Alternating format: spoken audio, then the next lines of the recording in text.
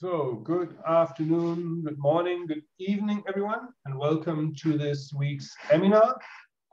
Today we have Adam Schultz talking about faster, lighter, cheaper, developing new instrumentation to broaden access to MT. And Adam just told me that he will introduce his bio because it, it's, it's relevant for what he's going to talk about um, during his talk. So I will uh, skip that for now, but I also want to remind you about the upcoming seminars of the next few weeks.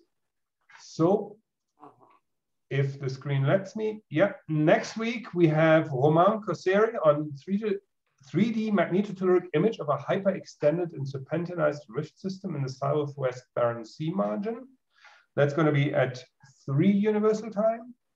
Um, then in two weeks' time, on the 2nd of March, at a sort of slightly unusual time for our EMinars from Australia, Janelle Simpson, on using MT to understand Mount Isa province. So those of you maybe for this is for who this is a bit early, that should be a convenient time. On the 9th, early again, uh, we have Ian Ferguson on nuts and bolts of magnetotelluric instrumentation and fieldwork. And then the final one in this preview on the 16th of March, even earlier than this time slot, Raphael Rochlitz on custEM from open source 3D EM modeling towards inversion. Ah, there's one more, sorry. Uh, 23rd of March, Simon Jowett on mining for net zero. So that's a bit beyond the typical MT uh, EM realm that we're talking about. And with that short introduction, I assume that you are all familiar with the um, website where you can look at the videos of past presentations and the, look at the registration link.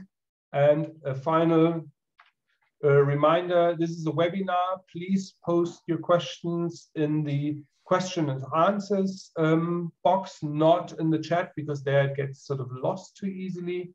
Um, so far, it always has worked very well that we, we postponed questions to the end and there's no real time limit. So don't, don't worry that you won't be able to ask your question. And uh, what I will do is I will read out the question uh, so that's in the record. And remember, this is going to be recorded. And then Adam can answer the question. So we have both the question and answer as an audio um, archive. And I think with that, I will hand over to Adam to introduce himself and talk about cheap MT instrumentation. Okay, thank you. And let me get the screen share underway. Yeah. And let's get it started. If you could confirm the size is good and everyone can this see it. Great, yeah, looks good. Wonderful. Okay, thank you. So thanks, Mac. Uh, for those who know me a little bit and may be alarmed that I'm wearing this uh, horrible device around my neck, I had some uh, surgery in September that takes quite a while to recover from. So uh, do not be alarmed. Uh, I may take it off later. If my head falls off, it was a bad call. But in any event, here we go. Uh, so the, the theme today really is how do we broaden access to MT? How do we lower the cost of admission? How do we make our uh, operations more efficient? How do we uh, make it just so compelling uh, a method that uh, it expands and is used for, for all the many critical things. I particularly liked um, Alan Jones's um, BC Geophysical Society uh, talk I, I, attended, where the theme was really, if we're going to decarbonize the economy, paradoxically, it means a, a major expansion in um, geophysical exploration for all of the materials needed uh, for that process. So uh, let's let's think about that. How do we make this much easier for people getting into the into the game? Uh, and uh, my co-authors are Brady Fry and Taylor Vitti, who are with me in the National Geoelectromagnetic Facility at Oregon State University. Uh, four items. The first one is more of a personal bio. Uh, it's, it, it kind of sets the tone uh, and it really tries to explain from somebody of my generation, you know, the, the old people looking out the window a little bit, how high the price of admission really was to the MT Club and how it's impractical now for people coming through to have to become masters of everything. So I'll talk about that, the evolution of MT instrumentation and technique through my own personal perspective. I'm, I'm going to start at the beginning and then talk about some of the issues that have come up in the years running increasingly large 3D um, MT and related uh, surveys and how we can kind of detect and mitigate against inefficiencies that drag the process out, raise costs, and uh, lead to frustration overall. And then really specifically, what are the barriers to more wide scale adoption of MT and TM, EM methods? And finally, a, a, a, solution that we're developing right now that we think will contribute to this. So let's, let's talk about this, you know, baby boomer generation, right? We've got a bunch of people here who are in kind of my, my demographic. And, you know, if you're lucky, aging happens and it's inevitable. If you're not lucky, it doesn't. But I got to tell you, looking at this, there are not, not a lot of great advantages necessarily to aging, but sometimes uh, you manage to get in at something, if not at the beginning, close enough to the beginning to really make it interesting. So I'm gonna like go back. I was a kid in New York City, and one of the experiences I had was a National Science Foundation funded uh, summer program where you're teamed with uh, a professor in a university, in this case, City University of New York. And I was really into astronomy at that point, which is weird for a kid from New York City. Um, but I had this idea about uh, the impact of high densities of micrometeor meteoroids in the upper atmosphere somehow impacting uh, production of secondary cosmic rays. So I thought I need to build a cosmic ray telescope. So I worked with this a professor using scintillation counters and, and iodide crystal um, detectors and coincidence counters to, to build this device, collected a bunch of data during the largest uh, meteor shower of the year, and, and then learned some statistics and thought, well, I got to figure out how to do this. So this is the first kind of sciencey thing I, I really built in, in earnest. And this was 1974, I think. And so I, I learned Fortran 4. And we had a teletype terminal that was linked to a mainframe somewhere else in New York City. And uh, you coded onto paper tape. And then when you had your program, you couldn't make any mistakes.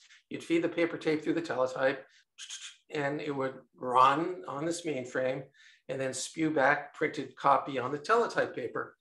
Um, and you know, that was really cool, right? Uh, it was fun. I got to use big toys and I was doing sciencey things. So that was very engaging. You know, STEM activities for high schoolers, we, we, we like them now. They're very important. Uh, in college, so I went to, I went to Brown uh, University and I was determined to be an astrophysicist. So this was in 1975. I was one of 250 entering physics students that year. Two of those students graduated with physics degrees, right? it was uh, kind of selective. So pretty soon, I'd say about a year and a half in, I realized I was basically too stupid to be a Brown University astrophysicist. And I was, uh, you know, looking around to find a track. And I also had a job because Brown was super expensive. It was something like $6,000 a year, you know, back then, which was unbelievable. And so I had to work. And I worked as an assistant operator of an IBM 36067 mainframe computer. It was a central computer. It had a dedicated building, right? Took the whole building for the computer. I remember we had one of the largest main memories, RAM memories in the world at the time. It was a megabyte and it took an entire room for one megabyte of hand wound ferrite core memory. And it was also the world's first virtual machine. So it was really a good experience learning how these things worked. And uh, I started taking like courses and there was a, an introductory course called the geology of Mars, moon and the earth. That was phenomenal, taught by somebody very big in, in lunar uh, work for NASA, Jim Head. And then I managed to talk myself uh, into a graduate course on the geology of Mars. In 1976, when the Viking landers had just landed on Mars, and the professor, Tim Mutch, was head of the imaging team for Viking. And we got to telex commands to Jet Propulsion Lab to set filters on Viking. And We got photos and it was an amazing course. So I was determined I was going to go into uh, comparative planetology as a career track. But the problem is the Apollo program had just ended and basically everyone was saying, you're crazy. There are no jobs in this. Nobody cares about space anymore. So that was frustrating. And I was looking around and I saw this thing on a bulletin board in the Department of Geological Sciences advertising for student employment for something called a geophysical technician, which is something I had no idea what it was, but it mentioned traveling to New Mexico, which sounded better than sticking around in Providence, Rhode Island in the summer. So I, I went for it and got it. And many of you in the older crowd will remember John Francis Hermance. So I worked for Jack Hermance, and this was in 77. I was hired among other undergraduates working with a graduate student named Jens Petersen, some of you may remember. And we did a couple of things. First of all, before going out to New Mexico, we built our own wideband MT system from scratch. Uh, and wideband MT, right? High frequencies, 1977. There really aren't any precision, high speed electronic digitizers really yet that you can, you can take out into the field. So it's an analog system. And in order to analyze the data, we had to build an analog computer, which I'll, I'll talk about very briefly. We also did long period MT work, analog system.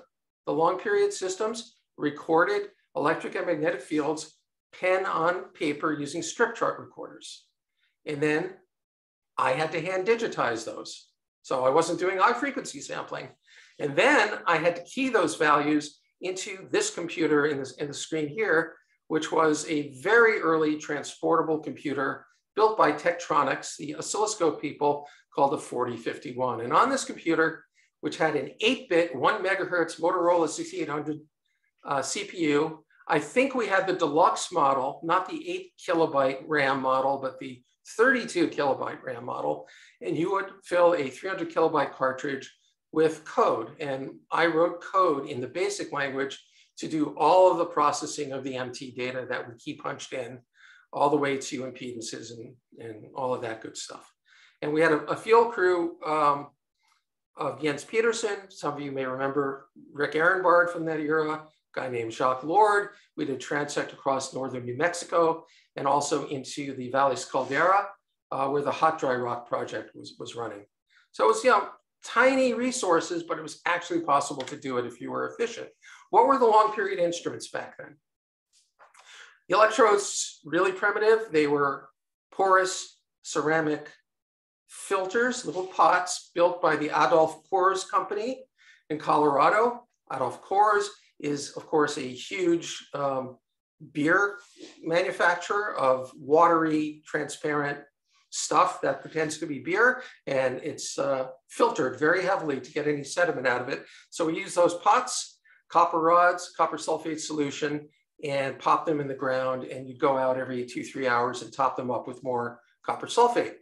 Uh, EDA fluxgate magnetometers, by modern standards, these were appalling. Uh, they had noise levels nearly three orders of magnitude uh, higher than the sort of fluxgate you'd use today. Um, and of course, once again, strip charts, strip chart recorders. Uh, the various sensor lines came into a camper top in a pickup truck, much like this advertisement of the era. Uh, on the left, strip chart uh, device on the top of this slide. And uh, there they went, squiggles on paper, had to tear the paper off and hand digitize. Uh, pretty, pretty uh, horrible, actually. Now, we also did wideband. Squid magnetometers were coming into vogue then. If you're not familiar, those are the uh, uh, superconducting quantum interference devices. They're really uh, amazing sensors. They were coming into use. Problem is, we're in remote parts of northern New Mexico for extended periods of time in the mid 1970s, and getting that liquid hydrogen is a problem. So we couldn't do that. So we hand laminated strips of magnetically permeable material we annealed them first by boiling them in liquid hydrogen, built them up, wound the coils, and they were our induction coils. And we thought they were just fine, but they were probably pretty bad actually. But anyway, that, that was the, the equipment. And uh, again, because you didn't have the kind of fast, precise digitizers, electronic digitizers that were field ready, uh, we did this in an analog way, which meant the signals were fed into basically custom circuits that were designed to do particular mathematical functions and to display the results on an oscilloscope screen. And that's how we did wideband in 77. Um, so, you know, why, why am I taking this trip down memory lane? Basically, I'm talking first about the price of admission to the MT Club because in the in the mid 70s, it was amazingly high. you had to know everything. You had to know how to do the electronics, how to do the algorithm development, how to do the coding, how to build and operate the equipment. Every aspect of it was, was required. So I'll, I'll wrap up my personal history in a few more slides, but that's, it turns out there have been improvements in a lot of this, but not everything. And, and the, the not everything part is still holding us up. So, all right, done with my university degree, get out of Brown with my geology, physics, maths uh, bachelorette. And i had been working on a senior thesis where I was doing some uh, vertical magnetic dipole and developing a solution for a particular Hankel transform. And that was my senior work. And then actually Alan Chaves was doing something in parallel and published a, a famous paper on that as well. So it was clearly a, a developing field. And I really wanted to get into marine CSEM. At that point, I was not so environmentally conscious. And I was thinking of tracking into the oil industry and, and minerals industry. Uh, and I thought marine CSEM would be the next big thing. This was in 78, 79. Uh, I visited uh, Scripps Institution of Oceanography, met the incredible Charles S. Cox, Chip Cox, uh, went to sea with him uh, before I'd finished my undergrad degree on the scientific shakedown cruise of a new ship, the New Horizon, with his new marine controlled source EM equipment. And we were going to go off to the East Pacific Rise and deploy it. And uh, the ship was defective. We hit an enormous storm and a ship was damaged actually. And we were lucky to get back into port. Um, but in any event, I then worked for him. Uh, it was sort of between college and grad school. Uh, and my job was really to code. So I was in the what's now called the Walter Munk building at Scripps at IGPP. I worked for him where I coded the, the first uh, marine CSEM analysis software in Fortran 77 on a mini computer called a Prime ahead of his first successful cruise to the East Pacific Rise. Um, and I, I, just as an aside, he was very influential in my early kind of instrumentation career because I was a close observer of what he was doing. And one of the uh, things I remember most clearly from Chip was uh, uh, remember to turn the thing on before you throw it over the side of the ship, because he forgot. anyway, uh, so I was doing that, and then I got accepted to the PhD program up in Seattle. So I moved to the Great North uh, in 79, or if you're Canadian, in the South. And uh, there was in Seattle. Um, those who know me often mistakenly think that John Booker was my, my advisor for my PhD. It was a complicated arrangement. He was the chairman of my committee. My actual advisor was a guy named Jimmy Larsen, and Jimmy was attached to the university through a, an adjunct appointment, but he was actually at the uh, National Oceanic and Atmospheric Administration, Pacific Marine Environmental Lab, and he was doing mantle conductivity work, believe it or not, for that agency. So uh, I had this arrangement, and that first year I was actually supported by somebody named Stewart Smith, a seismologist who became president of IRIS, and he tried to turn me into a seismologist. Well, he failed. I don't really, uh, certainly then I didn't really like seismology. I thought it was kind of boring. Uh, I kind of, I like it better now, you know. I, I like seismologists, do stuff with them, but I'm glad I'm not one of them uh, you know, it's a crowded field, and let's face it, nobody understands EM, right? So you you have, as I say here, you have magical powers, and you can say whatever you want because nobody can can argue with you except another MT person. Um, another formative experience was 1980. You know, I started there in 79 in the, in the autumn, and by March 1980, uh, Mount St. Helens was beginning to rumble.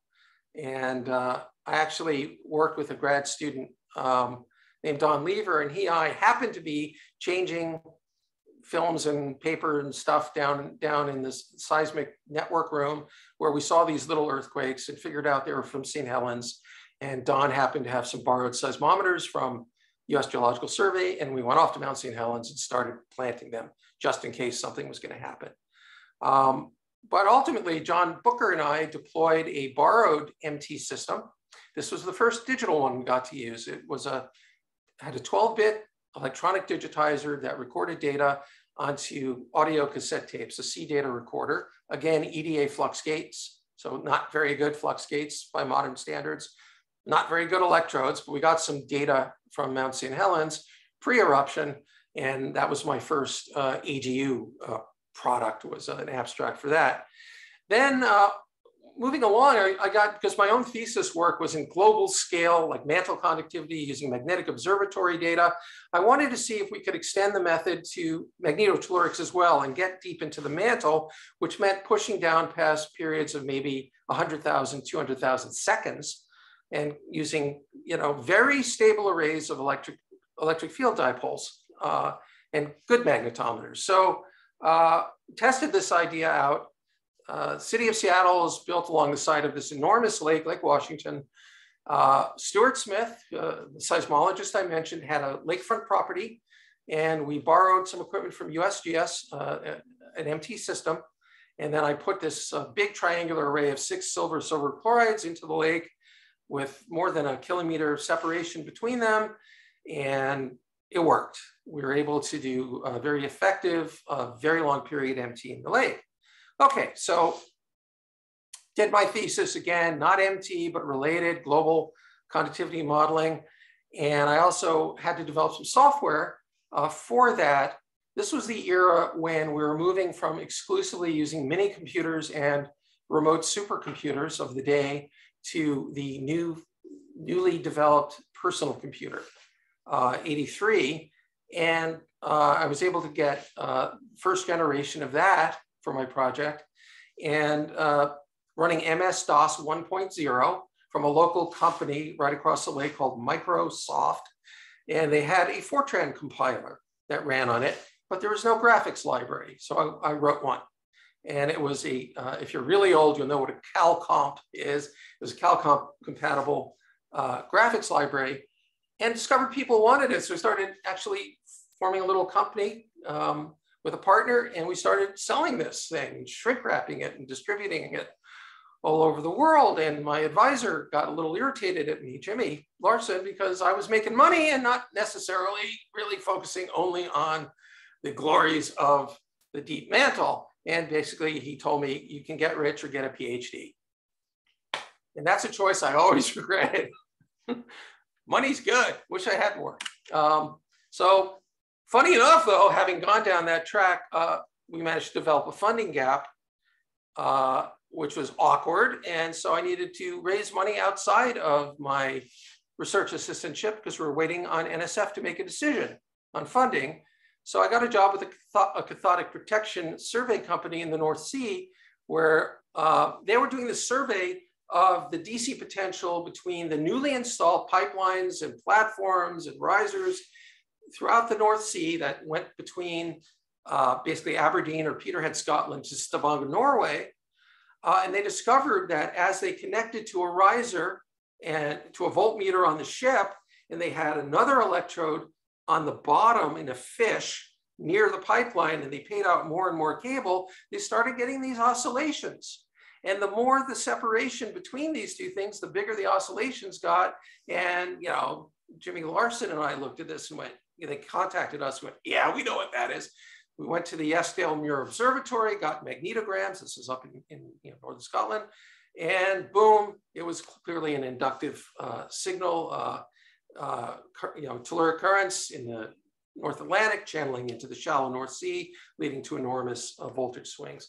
So I, I uh, installed large arrays, long electric dipole uh, sensors in the bottom of the North Sea around these platforms, brought them up onto the platforms, hooked them to strip chart recorders, hand digitized them, and spent three months living on this stinking platform in the middle of the North Sea, which was hell and nearly killed some people in a submarine. That's another story who got tangled in my cables because they weren't following the maps.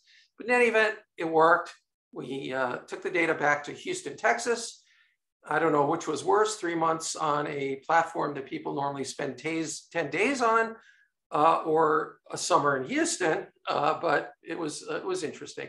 So uh, that was a job. And then uh, still waiting on NSF, uh, I was offered a job at Exxon, Exxon Production Research. And at that point, to be blunt, I really think I had enough of the summer heat in Houston.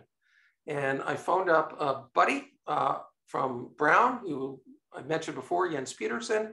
He was working in Brea, California at uh, Unocal, working on geothermal projects using MT. I said, hey, Jens, got anything going? He said, yeah, sure, come out. He hired me. So I then uh, was working in geothermal using MT and developing algorithms and code at Coso Hot Springs and in the Philippines. Uh, and I got to play with my first color terminal on their IBM mainframe clone in Amdahl. So that was, that was formative. I then did a postdoc uh, down in San Diego again at, at uh, IGPP, uh, Cecil and Ida Green Scholar.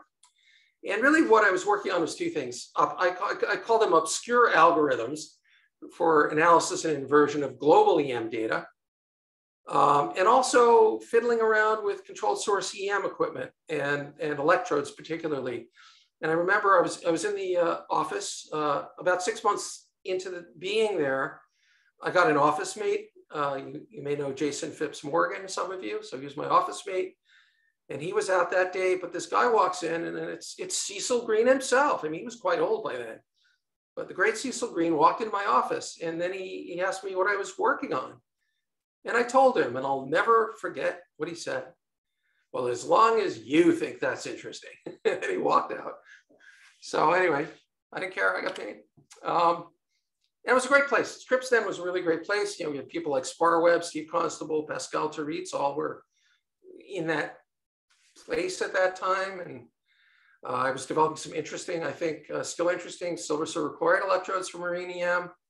And I got uh, many of you, uh, especially older crowd, will know of the, the enormous for the time EMSLAB experiment, which was in the uh, off the Pacific Northwest of, of the US and Vancouver Island as well, and onshore, offshore. I was involved in the deployment of the MT array offshore led by uh, Jean Filloux at Scripps, Larry Law at Pacific Geoscience Center in Canada. Uh, at the time, technically, I was a postdoc with Alan Chave, but actually Alan had just left Scripps when I arrived and went to Bell Labs, so kind of winged it. But you know, Filloux's equipment was really interesting. So the state of the art marine then, you had to separate the electric and magnetic field instruments. They were two separate instruments. The magnetic field, this also power was an issue, right? We didn't have lithium ion batteries and power was an issue. So Filloux magnetometers were enormously long, large diameter cylinders containing a suspended torsion fiber magnet with a mirror on it. It was almost like something Gauss would have done with a collimated light beam that would bounce off the mirror and it would drive a feedback circuit that would, would center the magnet on a slit. So it was a nulling instrument. And he had three components of that and got the magnetic field that way. It was a brilliant design, kind of an electromechanical design. Wasn't the most sensitive thing in the world, as you can imagine, but it worked. For the electric field, again, another enormous instrument, giant flooded orthogonal tubes leading to a mechanical device that was a chopper that would switch uh, the polarity of the electrodes that the amplifiers saw. So doing that mechanically you could null out any drift in the electrodes, any kind of low frequency or DC offsets in the electrodes. And you would just do like one stroke every few seconds.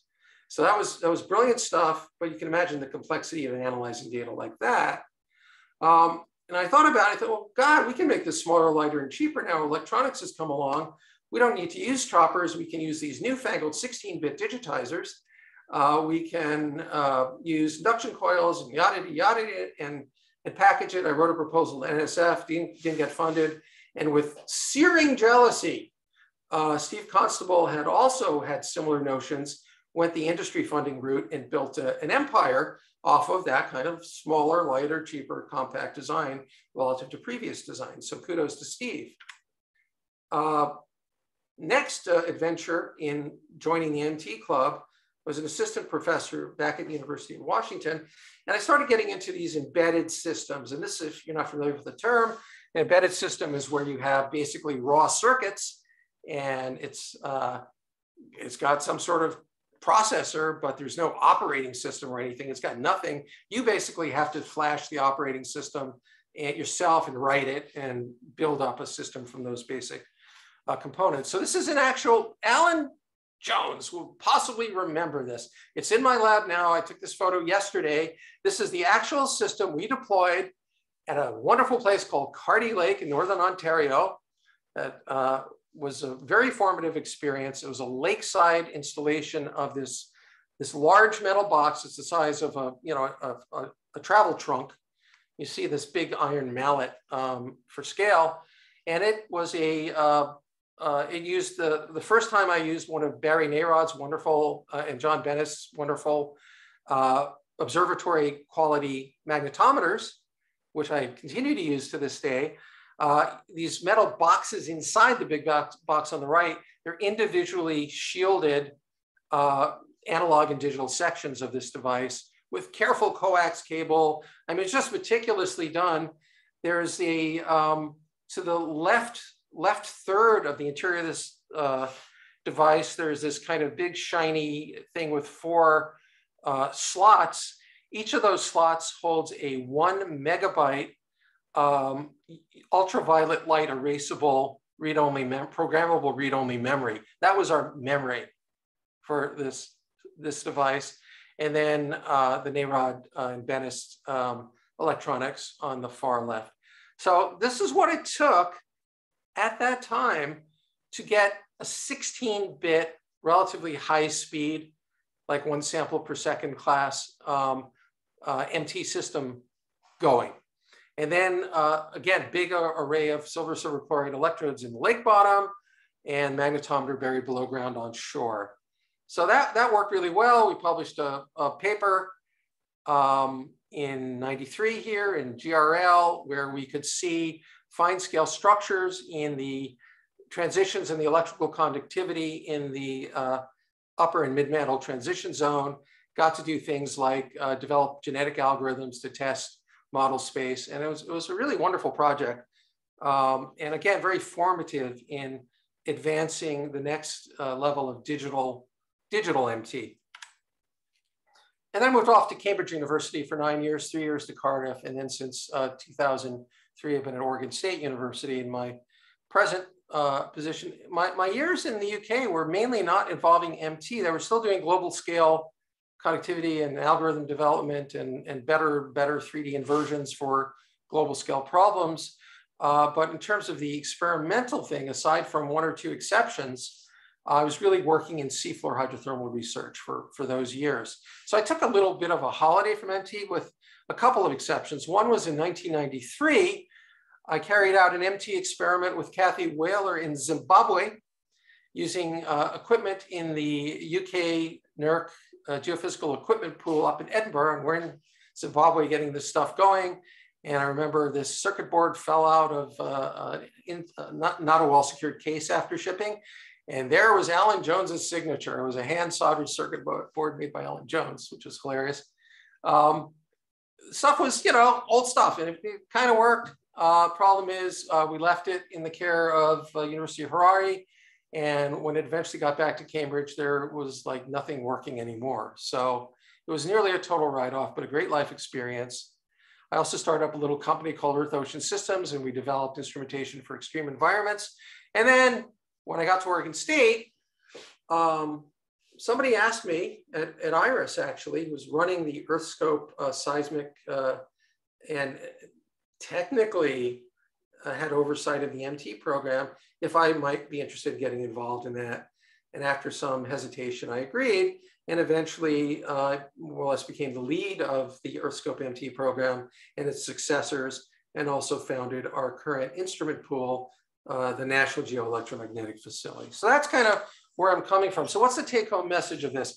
You know, being an aging baby boomer, you know, and there are a number of us on this call, you know, we got to use computers when they were basically hand built. You coded on paper or on cards or switch panels.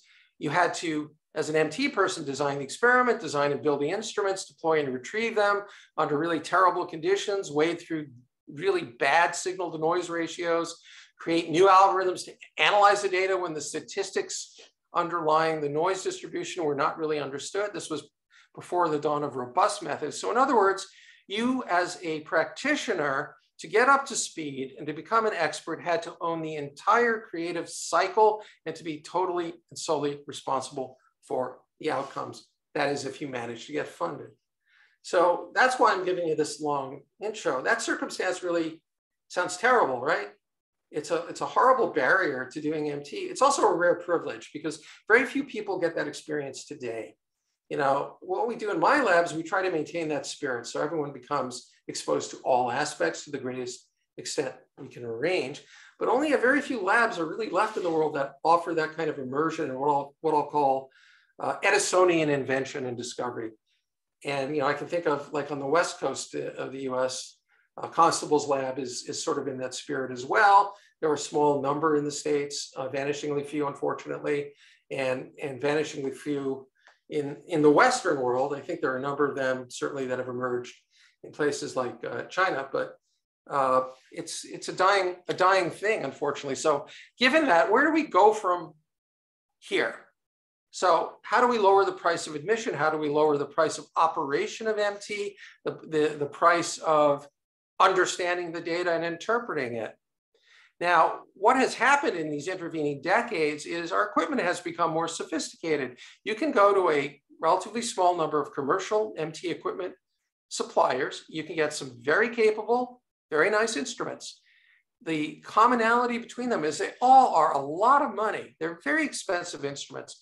You can easily spend 60, 70,000 dollars US on a, a high-end wideband instrument. So there are improvements, but that's a barrier. And if you really think about how our workflow works, our workflow really is mid 20th century. It hasn't substantially changed. We're just using better environments on better computers, but the actual act of how we obtain, process, and interpret the data really is substantially the same. And we have a culture now which assumes data comes from the internet. It's the thing you get off the internet. And I used to really resist that. But now I'm thinking, well, all right, let's go with that. Data comes off the internet. Maybe it should. So how do we widen the take up of MT and related methods? We make the data come off the internet and a few other things. And so for the rest of the talk, I'll talk about what problems we address, what the bottlenecks are, and what I think one solution may help solve. So my uh, background in this is tempered by being responsible for some very large array MT surveys on regional and continental scales, uh, work involving 3D and 4D target discrimination, and things like reservoir monitoring and geothermal.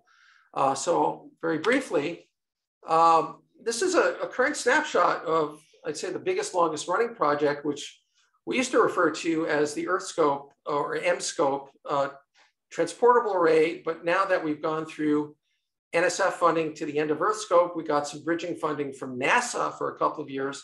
And now Oregon State University is walk, working through uh, uh, an agreement with the US Geological Survey to continue the work. We just call it generically MT Array. So we started this uh, in my lab in 2005, where I was responsible initially for installing seven quasi-permanent stations and underground vaults, MT long period stations, with the goal of exceeding 100,000 second period and kind of anchoring the deep structure uh, stations across the conterminous United States, that is the US except for Alaska and Hawaii. And that got underway. And then in 2006, we had a, uh, a small core group that was overseeing the first deployments of transportable MT arrays on a station spacing grid of 70 kilometers our instruments for both cases were um, the, the Barry Narod and John Bennest uh, NIMS instruments, which sadly are no longer in production, but uh, we, we now possess the majority of the ones ever produced in support of this uh, project. So our plan now under the current and, and pending uh, final cooperative agreement with US Geological Survey, the current source of funding is to complete uh, these dots on the map uh, by roughly mid 2024, we'll have more than 1900 stations. These stations are installed in, in temporary rolling subarrays. Uh, an individual station may be installed for many weeks to a couple of months typically to collect data that meets certain uh, very well-defined quality control standards and using very um, consistent uh, processing and metadata and operating principles and, and, again, we're using the NAROD NIM systems, uh, which we have heavily modified and modernized because they've not been in production for a very long time. And we've added a lot of features to them and hardware and software. We uh, use our own electrodes and we built a large instrument pool by possessing, owning, and borrowing from others as well. And I'll talk about that. Now, the motivation for this kind of continental scale work is fundamental geosciences initially, certainly under NSF support.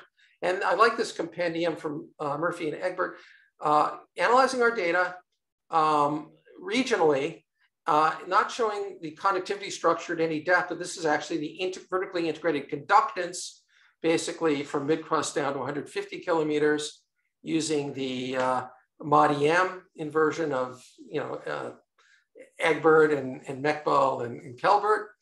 Um, and you just see the strong heterogeneity, three to four orders of magnitude, lateral heterogeneity in conductivity. And you see this basically at all depths through the section, and it makes geological sense. So this is this was great, but we had a problem. Earthscope ended as a program in 2018, and the MT program was only two thirds done with mapping this piece of the United States, the 48 conterminous US states, we hadn't completed the southern tier of states.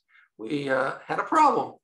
And what had transpired, however, is uh, a new application for the work. And many of you will be familiar with this. Uh, it turns out if you care about the intensity of geomagnetically induced currents that flow through critical infrastructure, and in this particular context, I'm talking about the electric power grid transmission system, and also pipelines, all critical to civilization. Um, the intensity of those fields is determined not only by the instantaneous vector uh, magnetic field at every location along the path of the transmission network, but also the inductive response in the earth. It depends on the impedance, the MT impedance below you, and it involves a section of crust and upper mantle down to about 300, 350 kilometers. Uh, and it turns out once we started mapping the US systemically in 3D or systematically in 3D, it turns out this is the dominant thing.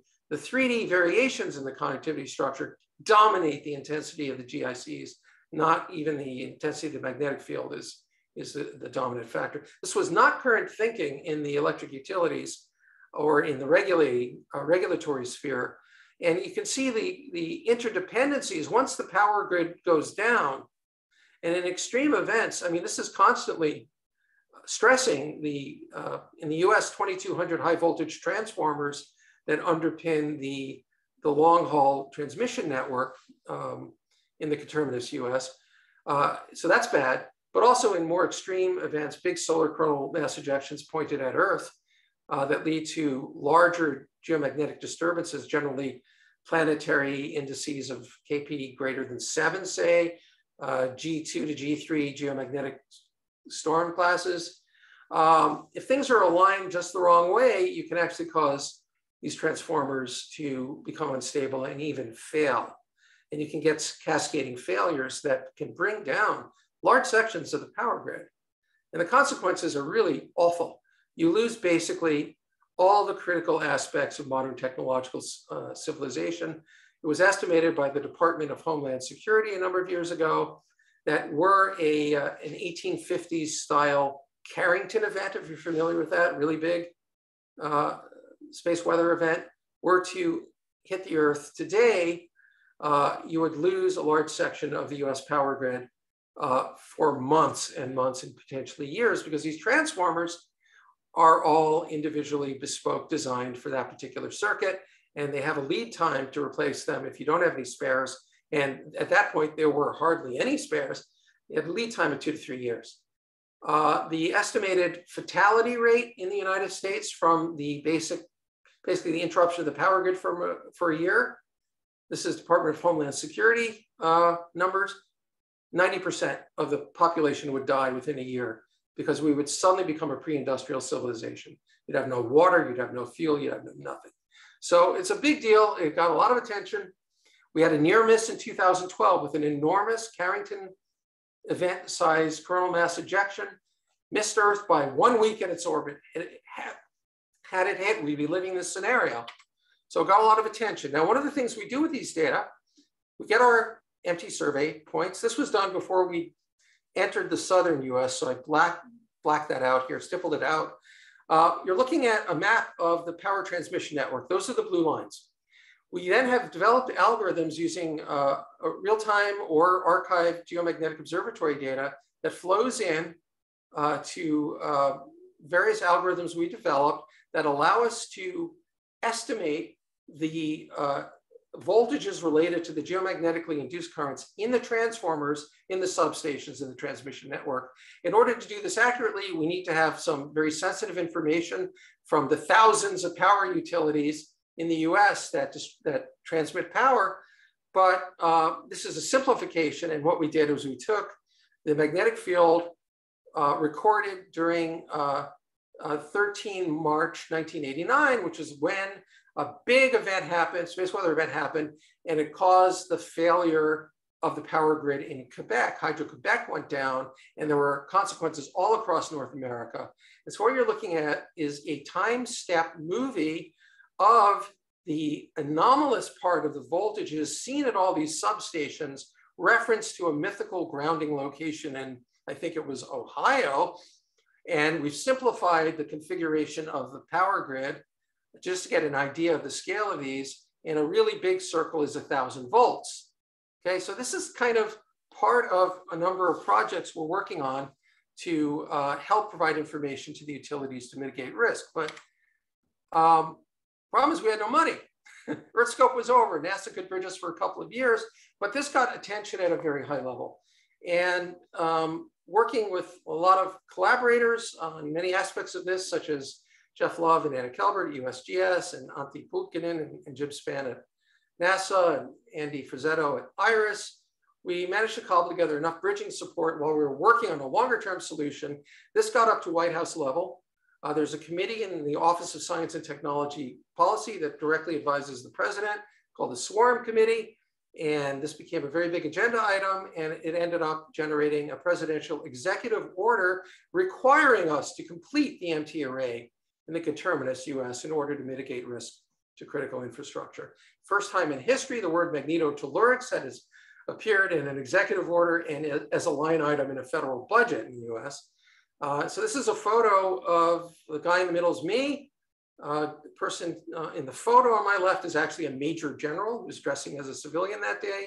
Uh, my guest on the other side is uh, our, our university's vice president for research. And we're kind of cooling down after I made a presentation uh, in the Situation Room to some interesting people about this. Uh, and I'm actually sitting at, at, then Vice President Pence's desk uh, in his office. He, that was basically loaned to us. And then we had to run off to the Senate to try to get some money.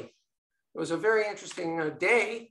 And uh, there were a lot of regulatory issues that uh, emerged from this process, basically requiring certain data sharing and also the completion of the MT array. So uh, we're working under those conditions and it's, it's kind of in order and we're doing it. Okay, now when you're doing something like this, you need a facility to support it. So this is the, uh, the National Geoelectromagnetic Facility at Oregon State University. Uh, by the middle of 2019, we'd assembled, uh, uh, I think it was, I say here 98 land MT systems, 60 were long periods, long periods uh, aside from a couple, were all uh, the, the NIMS, uh, Barry and John's uh, NIM systems, like 28 wideband systems, uh, I'll talk about briefly, and 10 very specialized radio frequency MT systems. And the ownership of the long periods is kind of complex. They're owned by us, they're also owned by NSF, and also loaned by University of Manitoba. So we put them all together to get enough equipment to do continental scale work. Uh, and we've been heavily modifying the instrument since uh, implementing real-time cloud synchronized telemetry, among other things. And also the latter part of the talk, talk about these new, really uh, much cheaper, uh, capable systems that we're building the first 24 of right now. Uh, we also do our own electric field sensors. We build electrodes on a very massive scale um, in a dedicated electronics lab. They're dual chamber uh, gel electrodes. The, the, current version is a lead lead chloride chemistry. We have a, uh, a test and calibration facility that allows us to have controlled temperatures, controlled temperature gradients, programmable temperature uh, variations, uh, et cetera, and then to uh, use a precision um, uh, hundreds of channel multimeter to measure things like contact resistances and uh, AC and DC voltages. And it helps us pair the electrodes and understand their thermal drift. We're continually improving this system. And we also have a, will uh, call it a fairly rudimentary still, because it's manual, it hasn't been automated yet, uh, magnetic field calibration system inside a Faraday shield. Um, and so you're seeing on the left here, the, the foundation of the large scale long period MT array, the, the, the NIMS magnetometer is the uh, horizontal uh, you know, PVC tube on the left. Um, and then what we call the receiver, which is the data acquisition system in the Pelican case in the center, and some of our older style, what we call series two electrodes. Uh, this can be configured for transportable array work or permanent uh, observatory work. And we're seeing one of our backbone stations here on the right where we've installed the, the flux fluxgate magnetometer two meters down in an insulated underground vault and then separated another vault, which has all of the electronics, the receiver, uh, solar power, and rudimentary real-time telemetry for quality of service. And we ran those for a number of years. Uh, we also have these uh, wideband instruments. Now, these were co-developed. I got uh, funding from the National Science Foundation. Uh, if you remember, there was a big global recession in uh, 2008. You know, the stock market crashed globally. Uh, President Obama had a stimulus program. It was called the American Recovery and Something Act, ARA, and we managed to get some money for that. And uh, built uh, with a, a company some of you know, Zonge, uh, in Tucson, Arizona, we jointly developed this new wideband instrument. So this was like 11, 12 years ago now. And uh, it, was capable of sample rates up to uh, 4,096 per second per channel. It was the first portable geophysical instrument that had 32-bit digitizers. We went from 24 to 32-bit. Um, we, we built 16 of those, and then we have 10 custom ones that are 24-bit but can sample uh, at 1.8 million samples per second for radio frequency MT. And we have a lot of induction coils. So I've got a whole bunch of different types of induction coils. I can't count, but it must be close to 50 of those. And also we can equip some of these systems with flux gates as well. And we have 10 uh, custom LEMI 031s. So uh, think about these digitizers, which are really kind of transformational. 32 bits a big deal because we're living in an increasingly uh, noisy, urbanized world. And so EM noise levels, undesirable uh, exogenic noise levels are increasing. And so if you want to do practical work in, in this wildly overpopulated world, you want to pull signal out of a noisier and noisier environment. Uh, so you may have a 32-bit digitizer going along at you know 1,024 samples a second, but a lot of those bits are, are noise. They're not noise-free 32 bits. But as you go to lower, lower frequencies, you get more and more noise-free bits. By the time you get to one hertz sample rates, you have 27 noise-free bits. So you're ahead of a game. Uh, a conventional analog digital converter that might be 24 bits. You're lucky to get 24 noise-free bits at that frequency, much less 27. And for lower frequencies, you get even more bits and eventually you get 32 noise-free bits. So that's just a comment about how the technology's developed and how I really only now use 32-bit digitizers unless there's a good reason not to. Uh, and these are also network. They used a mesh network called Zigbee. Um, so that's where we were, and we experimented with configuring the same kind of hardware for marine use. So we're actually, what you're looking at is a very uh, prototype device we've used actually for shallow water offshore measurements of electric and magnetic fields not for MT or CSEM, but to detect the signature, uh, the noise signature of offshore wave power plants, which is a big thing here. We have a big test facility. There are environmental compliance requirements to measure these things. And this is something we can drop off the side of a, a medium-sized vessel and take, uh, take measurements. This is a, a system, again, based on the 32-bit digitizers uh, does three components of electric, three components of magnetic using short um, ANT2 coils manufactured by Zonge slash Geotel. Uh, work well. And then we started to package it in a more fancy way, this device on the right with a much younger version of Uh, my lab manager, Brady Fry, who's probably cringing right now because it shows him as a, as a young, young little guy. Now he's all grown up. um, sitting in front of this thing we designed, it's actually turned on its side and being held in a frame. It's a trawl resistant uh, self-buoyant shell that holds fundamentally what you're seeing on the left, but in a free fall package that lands on the, on the seafloor. It has a concrete drop weight that looks like the heat shield of an Apollo capsule. It was designed using computational fluid dynamics to minimize uh, vibrations uh, from seawater flowing past it. And it's a nine channel device that has three electric, three magnetic, and three seismic channels. And it does timekeeping with a chip scale atomic clock. So it was kind of like my fantasy device. And we, we started playing around to see if we could make an all-in-one. Oh, and it did acoustic telemetry. So then we started saying, all right, let's take all this, everything we've learned, and you know, we've gone from a process of making things cheaper to in that last device making them really expensive. Let's go back to cheap. For land use, how can we take everything we've learned and start consolidating it into a way that's going to reduce the cost of getting your gear and operating it. Now, I should mention, of course, different countries have ways of making gear uh, available to academic scientists. Like in the US, I was running a national equipment pool, I still am, um, that was working on a financial model, unfortunately, that was imposed by NSF that cost people money to use the equipment, to rent it. Uh, fortunately, uh, IRIS was able to get supported to uh, add MT to the PASSCAL Instrument Center, where no money need change hands. And so I was involved in helping IRIS, um, you know, evaluate equipment, and they've uh, purchased a bunch of uh, Phoenix gear and Zonge coils and LEMI systems, and they're going to provision people with this. But of course, there are limitations to that. You can only have the equipment for so long, and it's still, in terms of workflow, pretty conventional it's it's great, but really it's hard for a non-expert to get up to speed on this. So here we have uh, on the right a bunch of what we now call our Series 4 electrodes, an early version of them. We build in huge numbers for the electric field dipoles.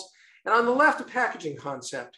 And this packaging concept, it's a battery box. The two black objects are individual uh, lithium polymer batteries, rechargeable lithium polymer batteries which is what we favored at the time because the concept was we could actually insert a fluxgate sensor, magnet magnetometer, into the same box as long as we kept the, the, ferrous materials away, as well as the receiver, the data acquisition system, and the telemetry system have a positional sensor and simply go to take the box, drop it on the ground, and it runs with Wi-Fi control.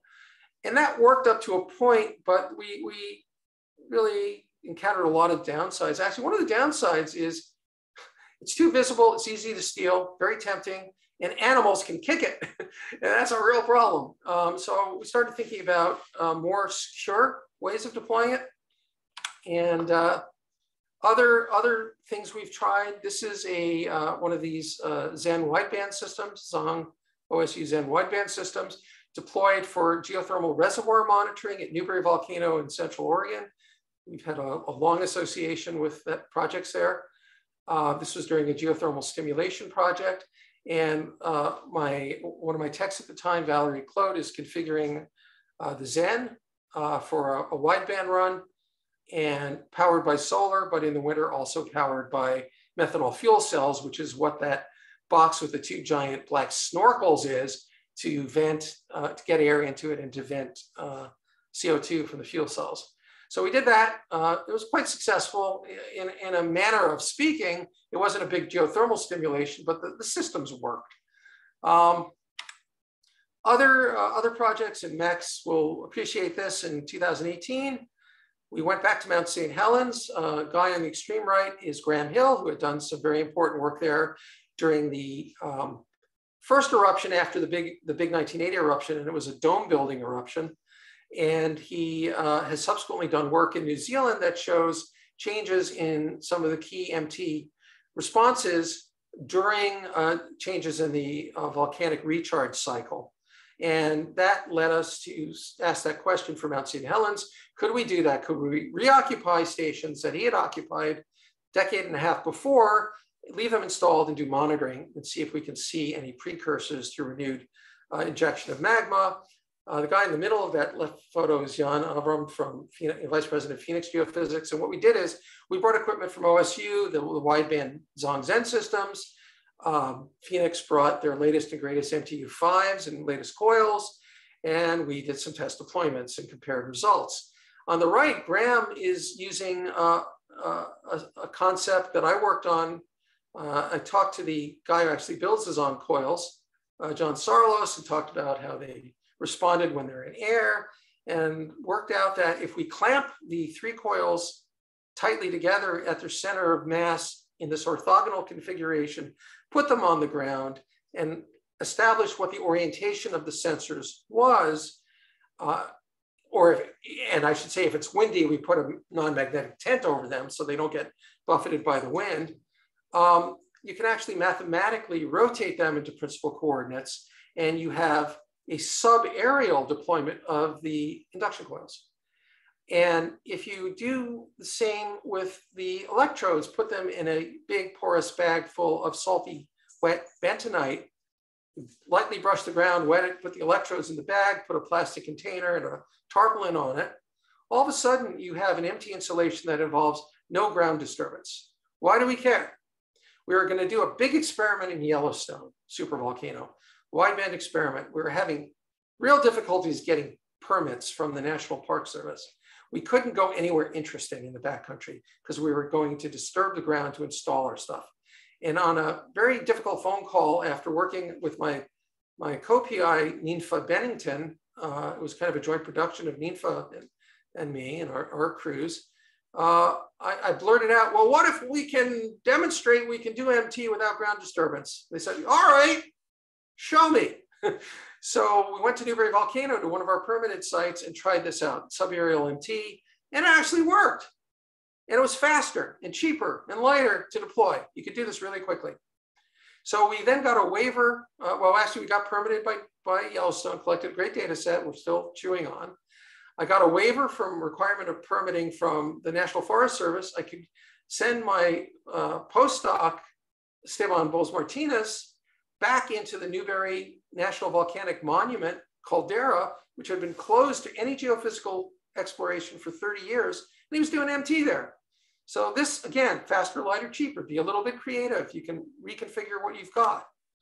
Now, let's talk about other ways of keeping things efficient reducing the cost of getting your data and getting it interpreted.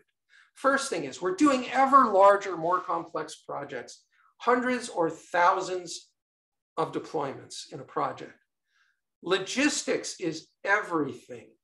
How do we handle logistics efficiently? How do we handle a rolling temporary array that might span thousands of kilometers and have many field crews operating simultaneously and coordinating with each other?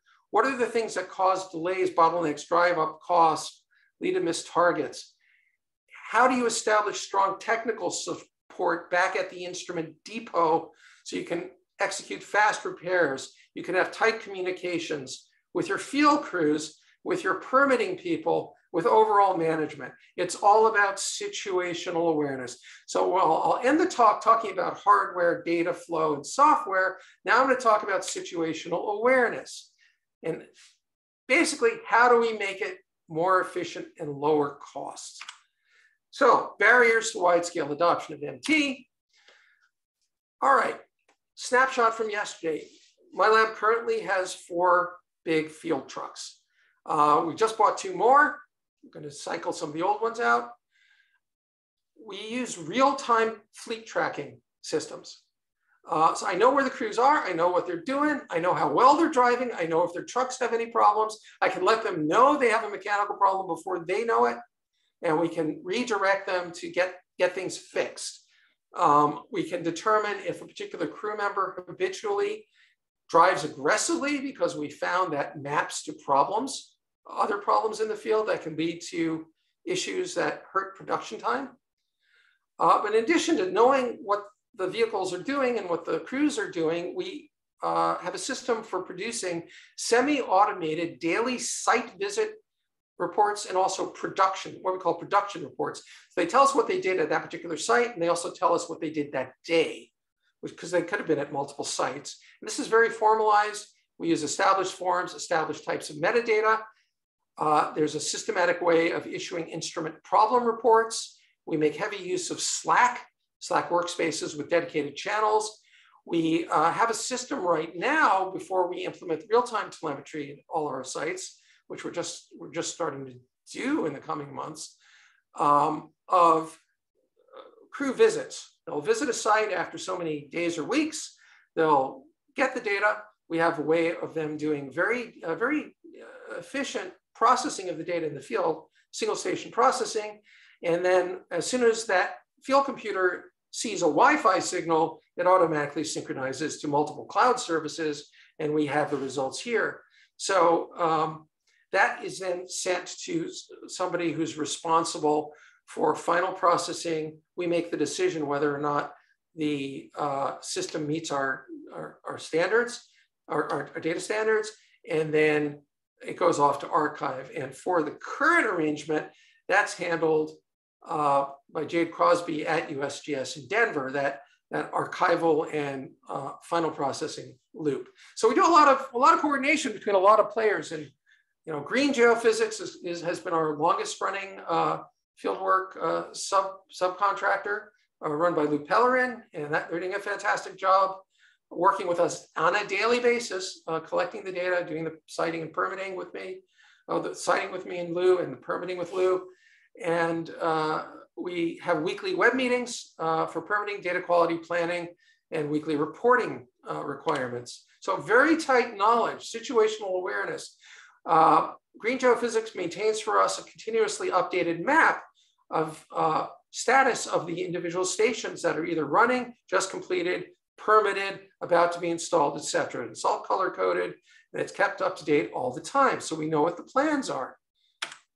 Um, safety is everything. If you want to lower costs, you can't have incidents. We've been doing this for over 15 years. I don't want to, I don't want to say anything that's going to lead to trouble. We have not yet had a major incident. Uh, nobody's had a, a significant injury, um, and we've had many scores of field crew members. And our field crews tend to be drawn from people who are very engaged in and interested in science. They may be considering a graduate degree in geophysics. We hope they get interested in magnetotellurics.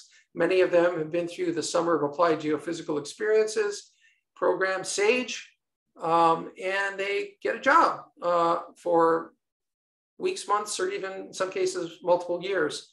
Uh, they become proficient, become crew chiefs, and they help us educate the next generation. Um, and they do it safely and efficiently. So we need to give our crews uh, awareness of field conditions if we're going to do this efficiently. For example, uh, I have a web portal I can open up at some point if there's time or questions that basically links to everything relevant. And one of the things that links to is national and regional fire and smoke maps. We are certainly seeing the effects of climate change on, an appalling scale, impacting our field operations continuously. Right now, it's, it's massive flooding in, in Alabama and Florida. In uh, summers, we were seeing temperatures of 50 centigrade in the desert Southwest. I mean, it's just mad stuff. Uh, smoke and fires have to be avoided. We have to have crews trained in industrial fire precaution level procedures with equipment to combat uh, local fires, fires, so they're allowed to get into certain land under fire conditions. Uh, I reference every day uh, the Space Weather Prediction Center at, at, the National Oceanic and Atmospheric Administration to see the predicted uh, geomagnetic activity levels because uh, that information can inform the crews that, maybe in two days we're likely to see a, a, really favorable signal level for long period MT. And so they should prioritize getting more instruments in the ground rather than say getting a few permits from a motel room, right? So that makes things more efficient. Um, then we have our very um, structured reporting every day. Every field crew reports back assisted by software uh, or user interface for instruments uh, written by uh, Brady Fry here, it's Python code base that helps populate a lot of this and semi-automates this. And so we get daily production reports, what they did that day in a particular format, site visit reports, makes it easy to localize things in time and space. Uh, and again, they're all synced uh, on various cloud services. Uh, they also email reports to us every night, and they use Slack workspace channels to report things. Uh, typically for long period MT, each field crew is a two person crew. So it's a light crew, it keeps costs down. They have a three quarter ton four by four pickup truck with a fancy lockable canopy. Generally, we equip them with 11 NIMS instruments per truck and lots of support equipment. And they report back every evening. And I'm just showing some output uh, from uh, reports showing things like measurements of contact resistances, uh, AC and DC voltages between dipole lines, uh, gain settings, battery voltages, and then some field process data on the right showing uh, parent resistivities and phases and tippers and time series that we get every day from the crews every time they extract data. Um, but you can do better. So I'll, tell, I'll talk about kind of what we're doing now and into the future. I'll segue into that for the rest of the talk. It's good to have telemetry. We like to have real-time telemetry. So the crews aren't blind because they don't know if the systems are really operating properly without telemetry. And I can guarantee at any given moment, something's wrong with something somewhere. So Paul Bedrosian at US Geological Survey with his then engineer implemented a nice little board, which we call the State of Health Board that can work with the NIMS systems. And he loaned us six of these and they use uh, low data rate satellite telemetry to give us some kind of statistical information basically about what's going on in the systems that we can use to uh, kind of be alerted to major problems like something's wrong with the magnetometer, something's wrong with the electric dipoles, for example. So that we have that, uh, but really it's great and I, I like it, I wanna use it, but there's kind of something you can do beyond that and that's the gold standard and that is full real-time telemetry of all your data in a robust and secure manner. And that way you can process the data remotely in the cloud and have full knowledge of, of the, the situation on the ground. And in fact, you might find by supporting real-time telemetry that you've achieved a, a, required data quality standard ahead of time. Well, that information is incredibly valuable because you can then use it to uh, change the plan for you know, what the nearest field crew might be doing in the coming days in order to extract that system, get it out of the ground and move to the next location. So uh, this is something we're implementing and we're building this now, this automatic cloud synchronization through remote telemetry, uh, full data sets, and uh, soon remote command and control into all future hardware. Uh, this is just a picture of that first element of uh, improved situational awareness, which is the state of health monitor. And so you're not actually looking at time series, you're looking at basically analyses, of, almost like probability density functions of what's going on in the electric field channels and some status of the magnetic field. Uh, there's a magnetic field uh, uh, flux gate status by, and then things like battery voltage and such like. And this tells us that there may be a problem on one of the systems equipped with SOH, and we can send a field crew out to look at it early. Uh, now, what other, so that's, that's a barrier. What's the other barrier? Commercial systems are expensive, right? They really are expensive. There are a lot of good ones out there. I just have some, some images of a whole bunch, some of which we we own, some of which we played with, some of which we helped develop. So that's a barrier. If you're doing this commercially, you pay a lot of money. If you can use a, an instrument pool that provides it free for academic use, there are only so many instruments, you can only have it for so long. If you're doing long observations or monitoring work, you can't really use a pool for that generally because somebody else needs it. Uh, commercial licenses for MT data processing can be quite expensive. Uh, there are open source solutions being developed and you know, Karl Kappler has, has a project underway through IRIS to um, basically you know, re redevelop uh, our current workflow in fundamentally a Python code base. It's all good stuff. Other people have, have similar things they're working on. Uh, commercially, though, it's expensive. And if you use these open source ones, you have to have some knowledge of coding, really, to be a proficient in it. And there are, of course, very few 3D inversion codes generally available you know, ModEM, written by uh, written here by Gary Egbert and Naser Meqbel and Anna Kelbert, and friends are, you know, it's it's available. People use it widely, and there are a couple of others out there. Uh, it's, it's relatively expensive for commercial use. It's not free, of course, and it's a barrier for somebody who's not really proficient in in coding and operating uh, a system at that kind of level of support, where you're supporting the software on a system. And also, uh, Naser Meqbel has very cleverly turned this into a software as a service Uh, where you know he can kind of run it run it for a client which is a, a, good model. And we like the software as a service model but still all of these elements are, are impediments to wide scale adoption and efficient and inexpensive use. And just the routine data processing can be really time consuming and often requires coding. So there we are. Let me go to the end here which is we're going to talk about latest developments we call it, you know, everyone knows about the Internet of Things, IoT. We call this IOMT, Internet of MT. This has a hardware aspect and it has kind of a data flow and software aspect. So on the left, here are our goals, low cost devices, low cost integrated MT systems that can work for long period initially and what we call extended band. Extended band might be uh, from near DC to maybe um, 100 hertz and then ultimately wideband. Okay, all on the same platform. For the long period configuration, uh, like we tried earlier, we want to have a system that integrates the Fluxgate magnet, magnetic field sensors with the MT data acquisition receiver and telemetry system in a single package. And we also want the potential to integrate an external induction coil set as well. On the data and software end on the right, all of this is based on a cloud-based model and software stack.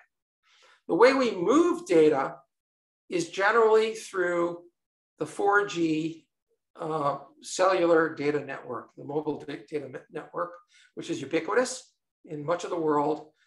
In the North America, it's called LTE, right? Long-term evolution. And it's, it's nearly everywhere. I'll talk about that.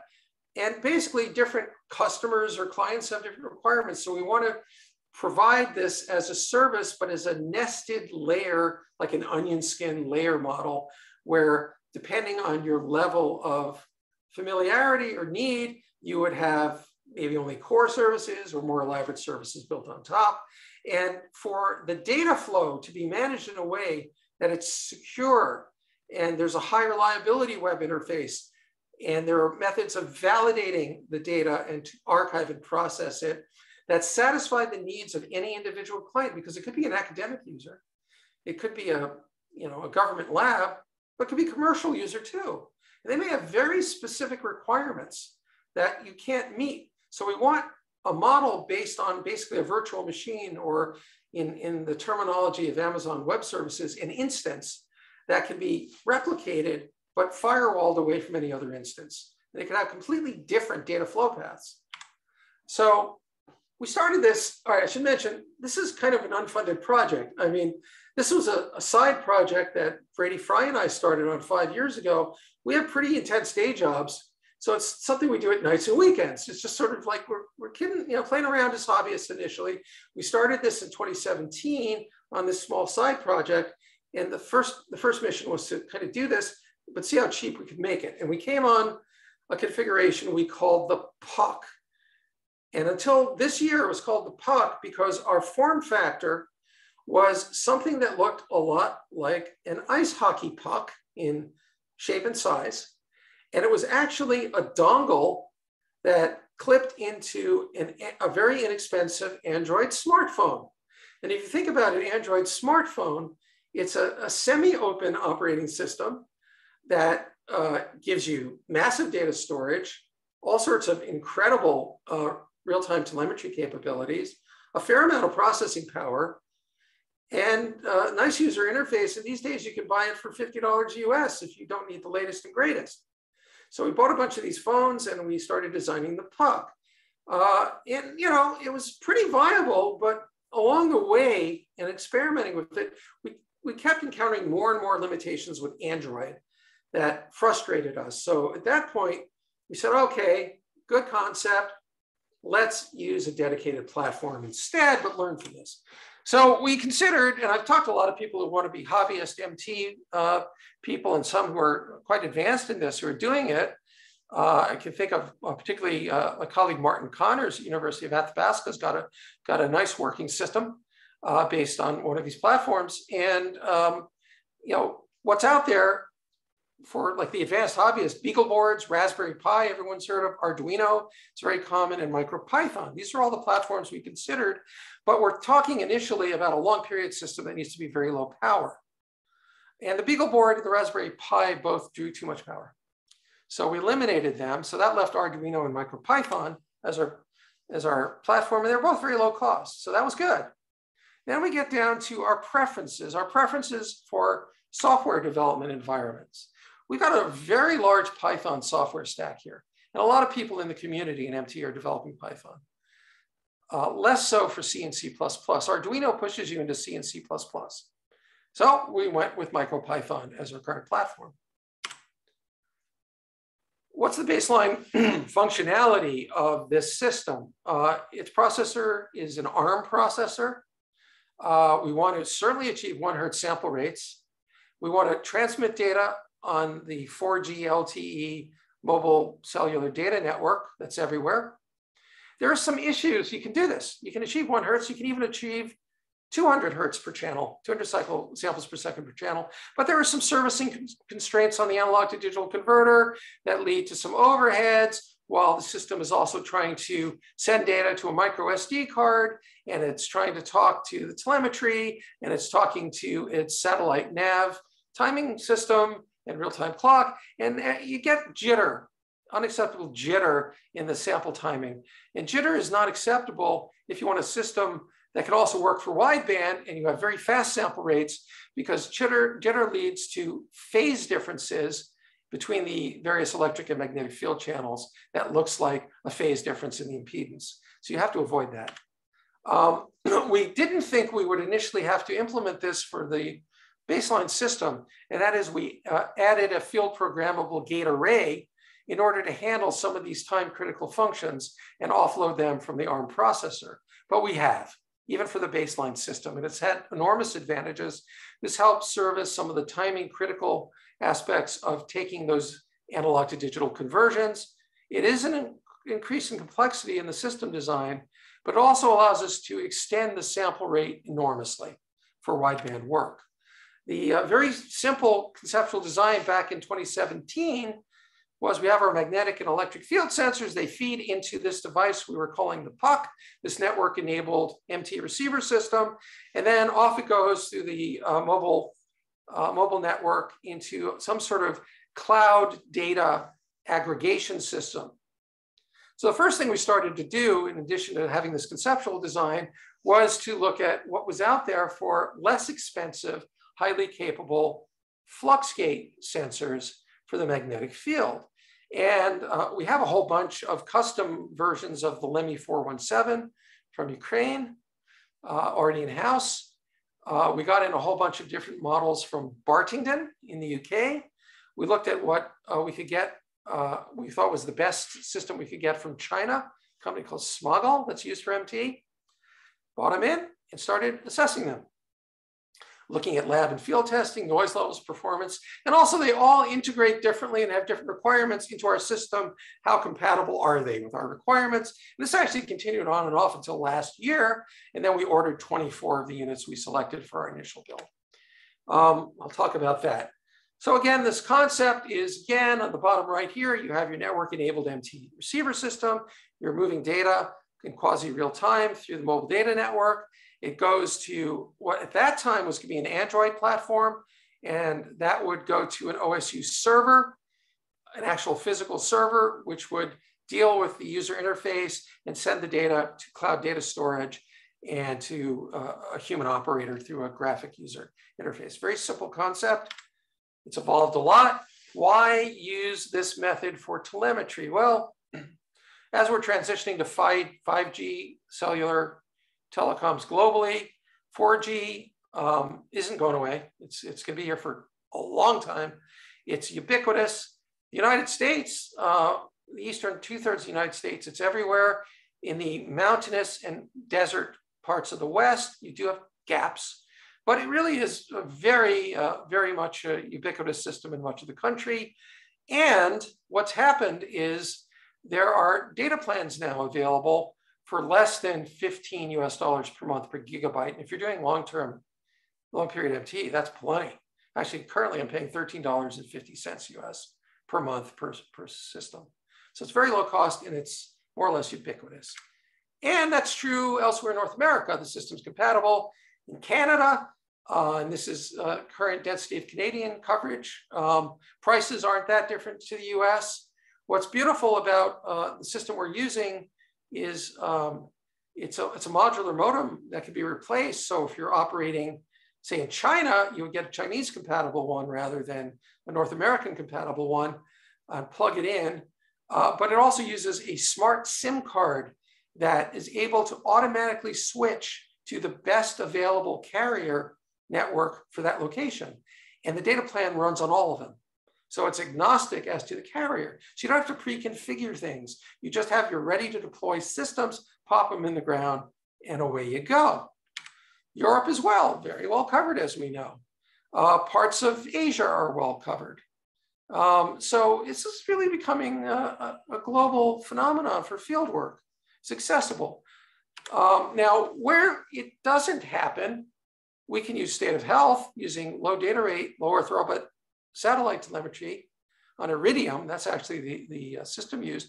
But what's emerging now is global high speed internet. There are a number of companies doing this, most famously Elon Musk's Starlink. So here's the map of the completed Starlink constellation and its footprint on Earth. Um, and it's nearly completed now. Um, so where ground-based LTE mobile tele telephony data plans are not available, we can move to these uh, emerging systems like Starlink. Uh, now, Starlink has some advantages and disadvantages. Disadvantages, rather than 15 or 13 US dollars a month, it's 100. And it's really right now meant for fixed base stations. But uh, if you're moving to a new location inside the territorial boundary of the country in which you are licensed to use Starlink, that's a, that's a constraint. You can put in a change of uh, address request, and as long as the footprint you're moving into isn't oversubscribed, you can move your MT equipment there and have Starlink.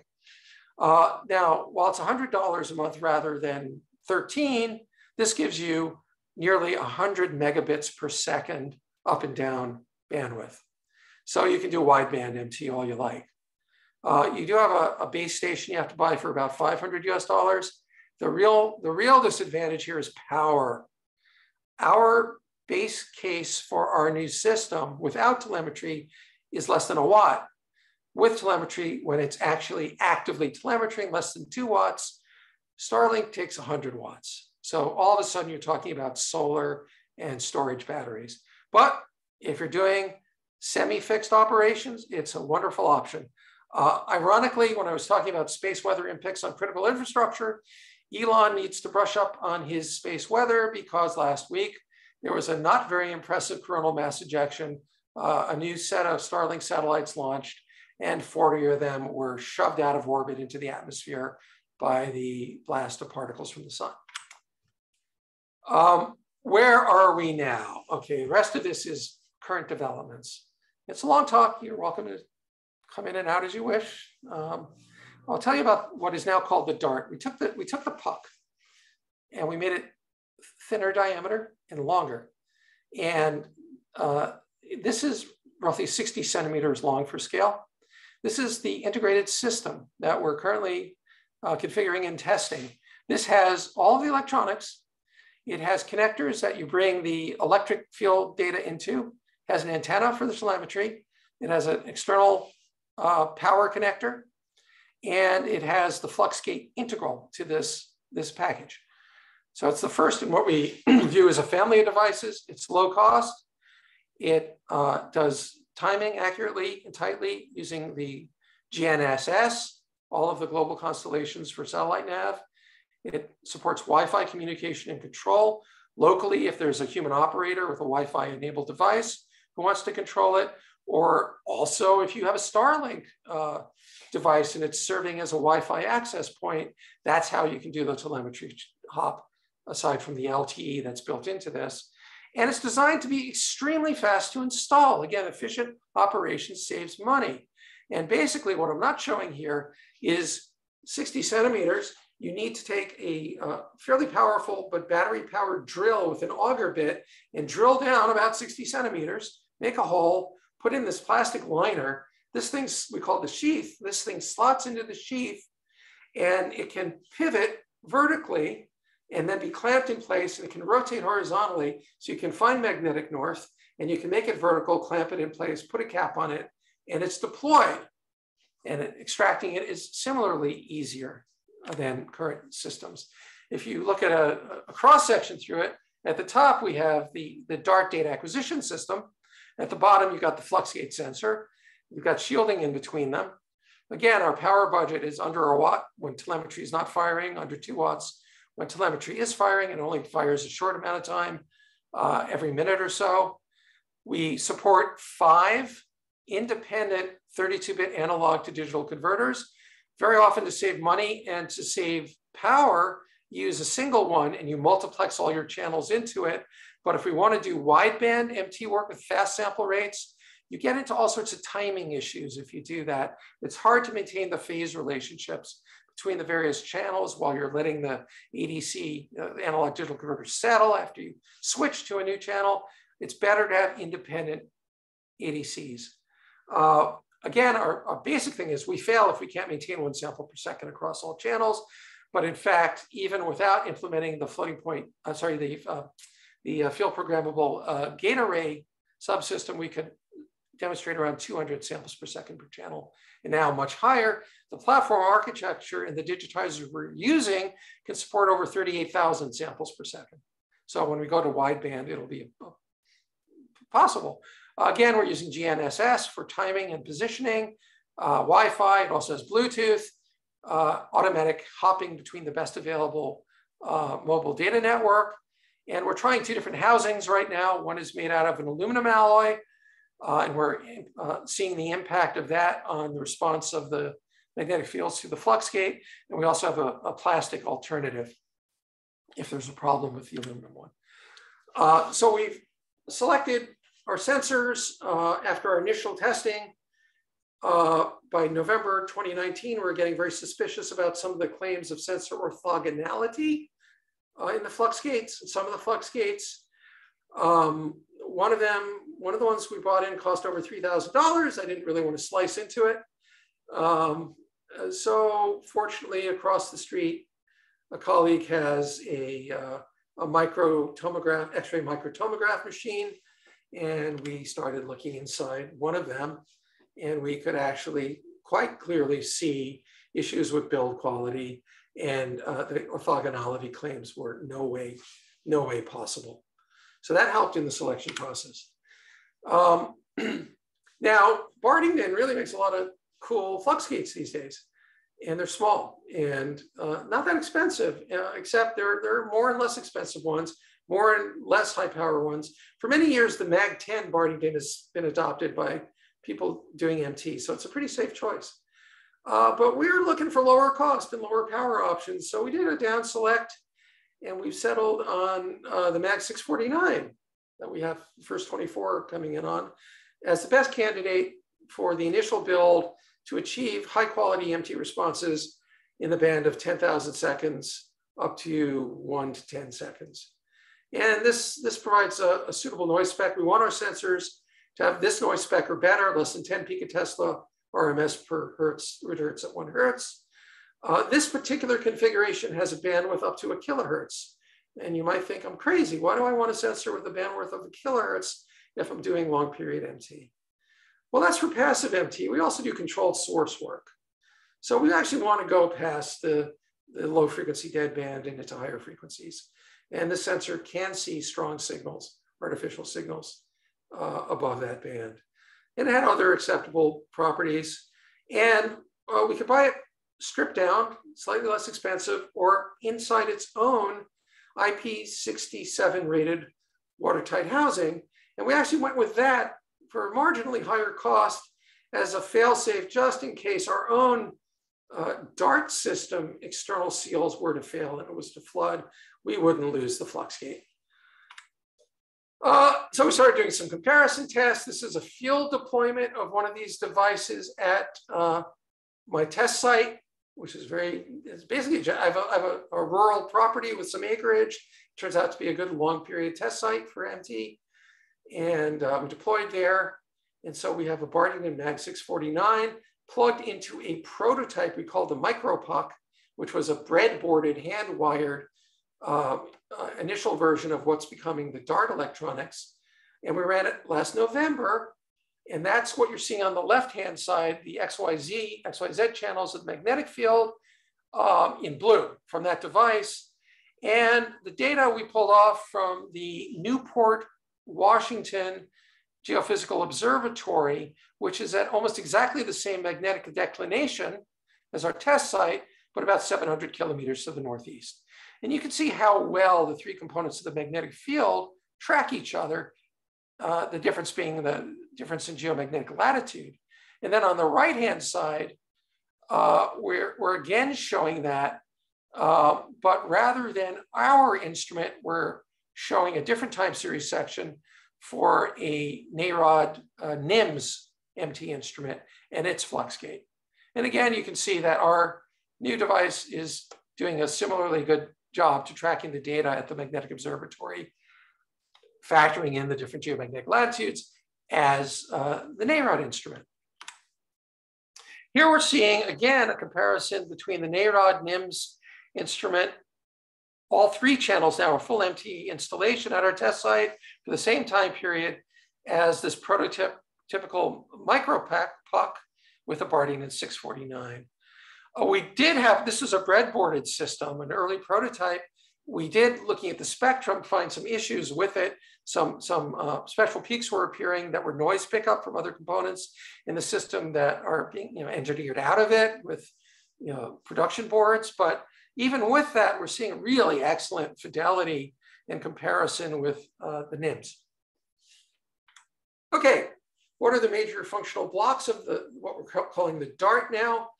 Uh, well, you have basically two, two aspects. On the right, you have the processor, the ARM processor. And its division of labor is to get the satellite nav signals from all the different constellations to set the timing pulse for the real-time clock, to write data to local storage and micro SD card, so that if there's a total system failure, you can't communicate with the device and the system is retrieved, you don't lose the data. And also it handles the communication uh, across the LTE mobile telephone network. And then all the other nasty stuff that's time critical is handled by the field programmable gate array system that actually interrogates the real-time clock and sets the uh, precise times to take the analog digital converter samples precisely at the same time across all channels. The ADCs, we've got five of them, five digital converters, 32-bit resolution, maximum sample rate of up to 38.6 samples, kilosamples per second, 38,600 samples per second. We use a full, uh, I hope you can still see me. I just got a weird thing from Zoom. Uh, um, a GNSS receiver for our timekeeping and positioning. We use all of the major constellations, GPS, GLONASS, Galileo, and BeiDou. It's modular and upgradable, and it maintains a timing synchronization tight to 21 nanoseconds so we can have wideband MT with good phase relationships between the different channels. Um, Wi-Fi is supported, so uh, if you're in the vicinity of the device and you want to control it, you can use a laptop. Uh, we, have been developing on that platform, actually on a Mac OS platform. That's our favorite one for development, but it's agnostic to operating systems. Um, we're in the process of implementing it on, on handheld devices, on, on tablets, and on uh, mobile phones as well uh, for both iOS and Android. So when you're at, the place and you want to do something to the system, you can control it without wiring it up or removing it. Uh, you can also download data locally. And if you're in a place where you can't get uh, LTE signal and you have something like a Starlink Wi-Fi access point, you can use that. We have a control interface. Uh, this is an evolved uh, version of the control system we use for actually connecting to a NIMS and setting it up. Uh, Brady Fry coded this. Again, it's a Python code base. And if you want to start a run, again, you're entering metadata in a very uh, rigid way. You can't start a run without doing it. And you can file one of your site visit reports by hitting a button because it'll, it'll send the metadata and you can start a run. Uh, LTE communications, uh, it's a modular, uh, basically a daughter board uh, that's certified for North America. It can be swapped for uh, a different one for other regions of the world. And again, as I said, it's agnostic as to the mobile telephone network and it auto switches between the best available carrier. All right, now where's the value added? You have a system, hopefully we can build them cheaply and in quantity. Where does the data go? okay, from the beginning, we wanted this to be a cloud-based system with automatic synchronization to the cloud. We wanted to be agnostic as to which cloud service we use. Different end users may have different requirements. They may have a specified one that they can access and others they can't. So we started thinking about this, in, like if you're familiar with something like Amazon Web Services, one of them, you build a virtual machine Ultimately, it's of real processors and resources and memory, but it's a virtual machine that's called an instance. You configure it in a particular way. And you can have another instance that's configured identically or differently, but it's basically running the same software, the same process. So you can have firewalled instances. And we can aggregate our data into any number of commercial web services like Microsoft Azure, Google Cloud, Amazon Web Services. Then inside of that instance, we have this environment we just call MT Monitor. And first of all, first step, get your data there to the cloud. You have to do it in a way that's robust, that's high availability in case something fails in the server cloud, it falls back and you don't lose anything or you quickly recover it. And for some applications, where the data flows is geo-located. In other words, you may have a client in Russia and they have a requirement that the data can't leave Russian servers. So you have to use a cloud service configured to allow data flow only there. You may have an oil company, and again, they're going to specify where their data has to go. So you'll implement a custom instance that channels the data the right way, and ultimately is balancing the loads in some automated way and goes to high availability physical clusters in this cloud service. Um, and again, to satisfy a number of requirements, the data have to be encrypted end to end. You have to have a way of provisioning credentials. So people have rights to access the data using industry standards with defined roles and responsibilities. And it, this goes right now into a SQL database uh, as our basic data management method. So again, you have different instances, cloud-based instances. Data is flowing into them. You can have any number of them. You could have ones for commercial clients with special requirements, for academic clients that are totally open. These instances can handle lots of things, data aggregation, archival, processing, inversion and interpretation. They're all different layers of this uh, system. It's an onion shell model tailored to the requirements of the end user. You may have a very experienced end user. Many people on this call would be able to take this all the way through inversion and interpretation and not need any of these services after you get the data aggregation and, and storage. Others may be new to MT and they need a lot of this done for them. So the goal is to provide as many shells, layers as possible, and to make the process as automated as possible, basically a, a semi-robotic process that's cloud-based. So the core layer, data ingestion and instrument control, you receive your IOMT data from your device, in this case, the DART 1.0. You validate that the transmission was accurate. You ensure that the device is operating properly, it's behaved within specifications, and shortly, we'll have the ability to terminate and start new runs with uh, new configurations remotely. Right now, it's done by field crews in person on site. The data transmission is block oriented, uh, secure, there's a header. The header provides a timestamp. Uh, and then what I'll call a hotel load of relevant data like different parts of uh, the system's temperatures, battery voltages. We've recently um, ordered a first of a, a large set of uh, lithium iron phosphate batteries that come with a very sophisticated Bluetooth interface that give us all sorts of useful information about the state of the battery, the state of charge, what time is left on it, etc. Eventually, we hope to integrate that into the, the Dart as well. Then you have a data block, um, and then something that lets you validate the data uh, were correct and transmitted successfully. And the typical cadence, think of it uh, for long period MT of something like once a minute, you get a data block. Uh, the blocks then are assembled uh, into a file locally inside the Dart onto a high capacity, high speed micro SD card. Again, that's your fail safe in case everything fails. Uh, so you have data files. Blocks are sent to the servers through this LTE or Starlink or equivalent backhaul. The server validates the data. If there's a problem and the validation fails, there's a retransmit algorithm. And eventually, you know, the data makes it to the server if all is working well. And if blocks are transmitted out of sequence because some got there successfully the first time, but others took multiple transmits, then because we have metadata in the header, we can reassemble the correct chronological order of the blocks.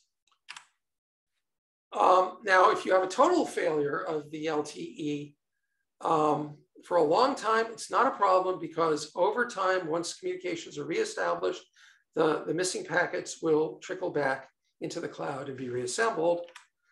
And uh, then that just stops, the, the server side will interrogate the Dart and say, can you hear me? Do you have any packets? And if that fails, you know you got a real problem. Time to get a field crew out there when convenient and see what's going on. Okay and things you can do remotely, you can look at the time series because it's in the cloud. It's always in the cloud. You can look at it, see what's going on. Probably important to look at time series, folks. Really, you, you learn amazing things. So don't just go with semi-automated processing. That should be part of your loop. Uh, you can generate uh, transfer functions. Uh, what we've done so far is we've taken, because we've been using kind of the now classical, robust, you know, uh, Egbert and Eisel algorithms and codes for these many years of the MT array, the first set of algorithms we decided to recode into a, our own Python code base was, was those algorithms. That's the, not gonna be the only ones we use. We wanted to show consistency and uh, interoperability with existing uh, results. So we're doing that. Um, I know Karl Kappler has got his own project doing um, an open source version of that. Because we're working not only in a, an academic, but also a commercial space, we need an independent code base. Um, and also we want to extend it past that. So we have our own. Um, we have, I don't have time to show you a live demo, but we have this web interface right now, it's very simple called MT Monitor. If a station is telemetering, uh, the station run ID appears and we can open it up and we can download the data from the cloud locally. We can do processing. We can look at the time series we can look at the response functions.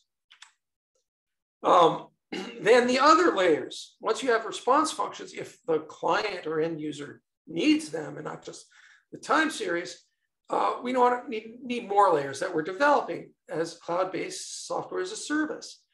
Uh, we're big users of uh, Meqbel Egbert, Egbert's, uh, Kelbert's uh, ModEM for 3D inversion, uh, but we've, we've also been developing new inversions. And so I have a postdoc at 2 who's currently developing a new um, combined joint MT CSEM other method adjoint uh, inversion that uses uh, uh, GPUs very effectively for, for very impressive acceleration.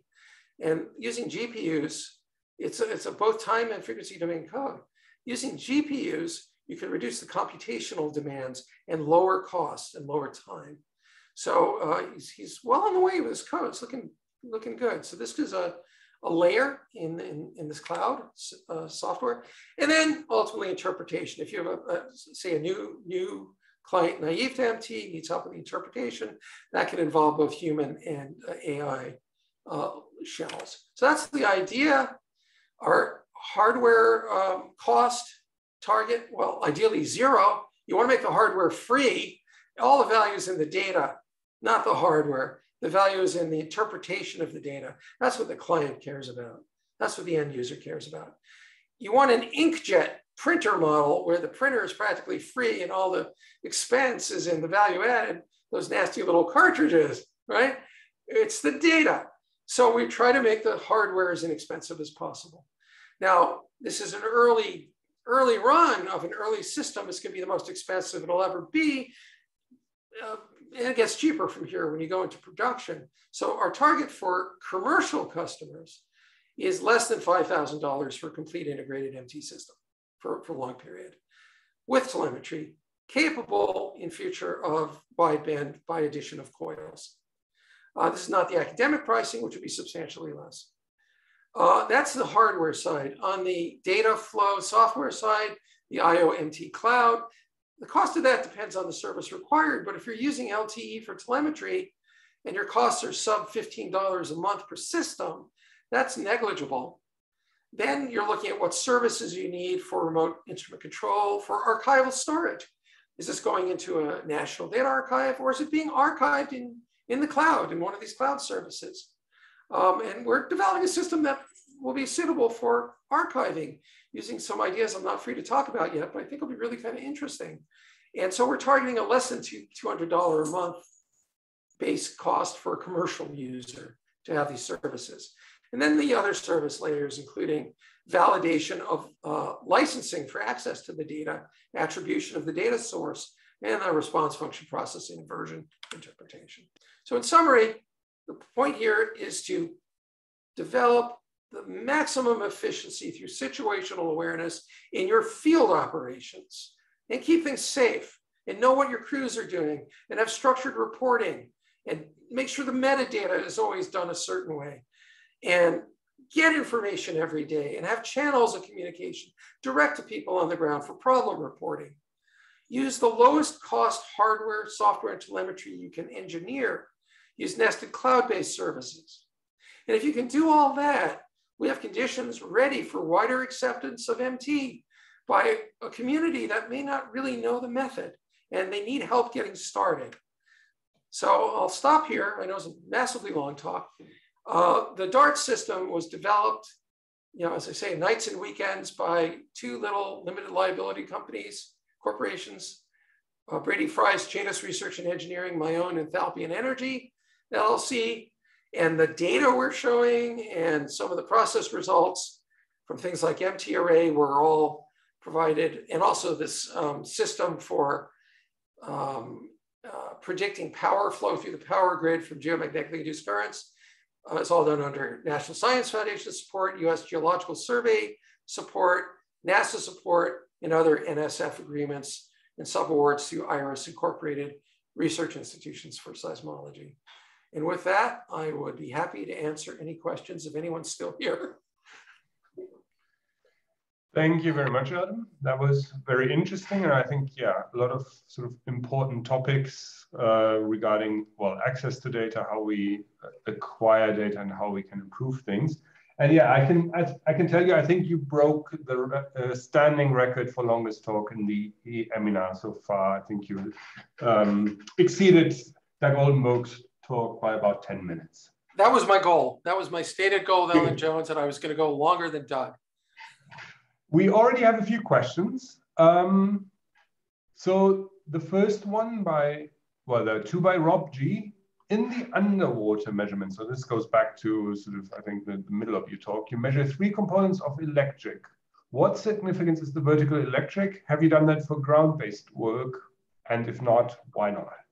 Good question. Um, uh, no, not for not for terrestrial work, only for marine work. There are a couple of applications where we have support from the Department of Energy, National Energy Technology Laboratory to develop a new marine controlled source EM source that is suitable not only for the kind of thin, uh, uh, buried subhorizontal um, oil and gas reservoir work everyone's familiar with in marine control source EM, but actually for um, geohazards related work, looking at things like uh, gas pipes breaking out of salt domes that become geohazards or uh, other hazards where your target might be vertical or subvertical in very small aspect ratio.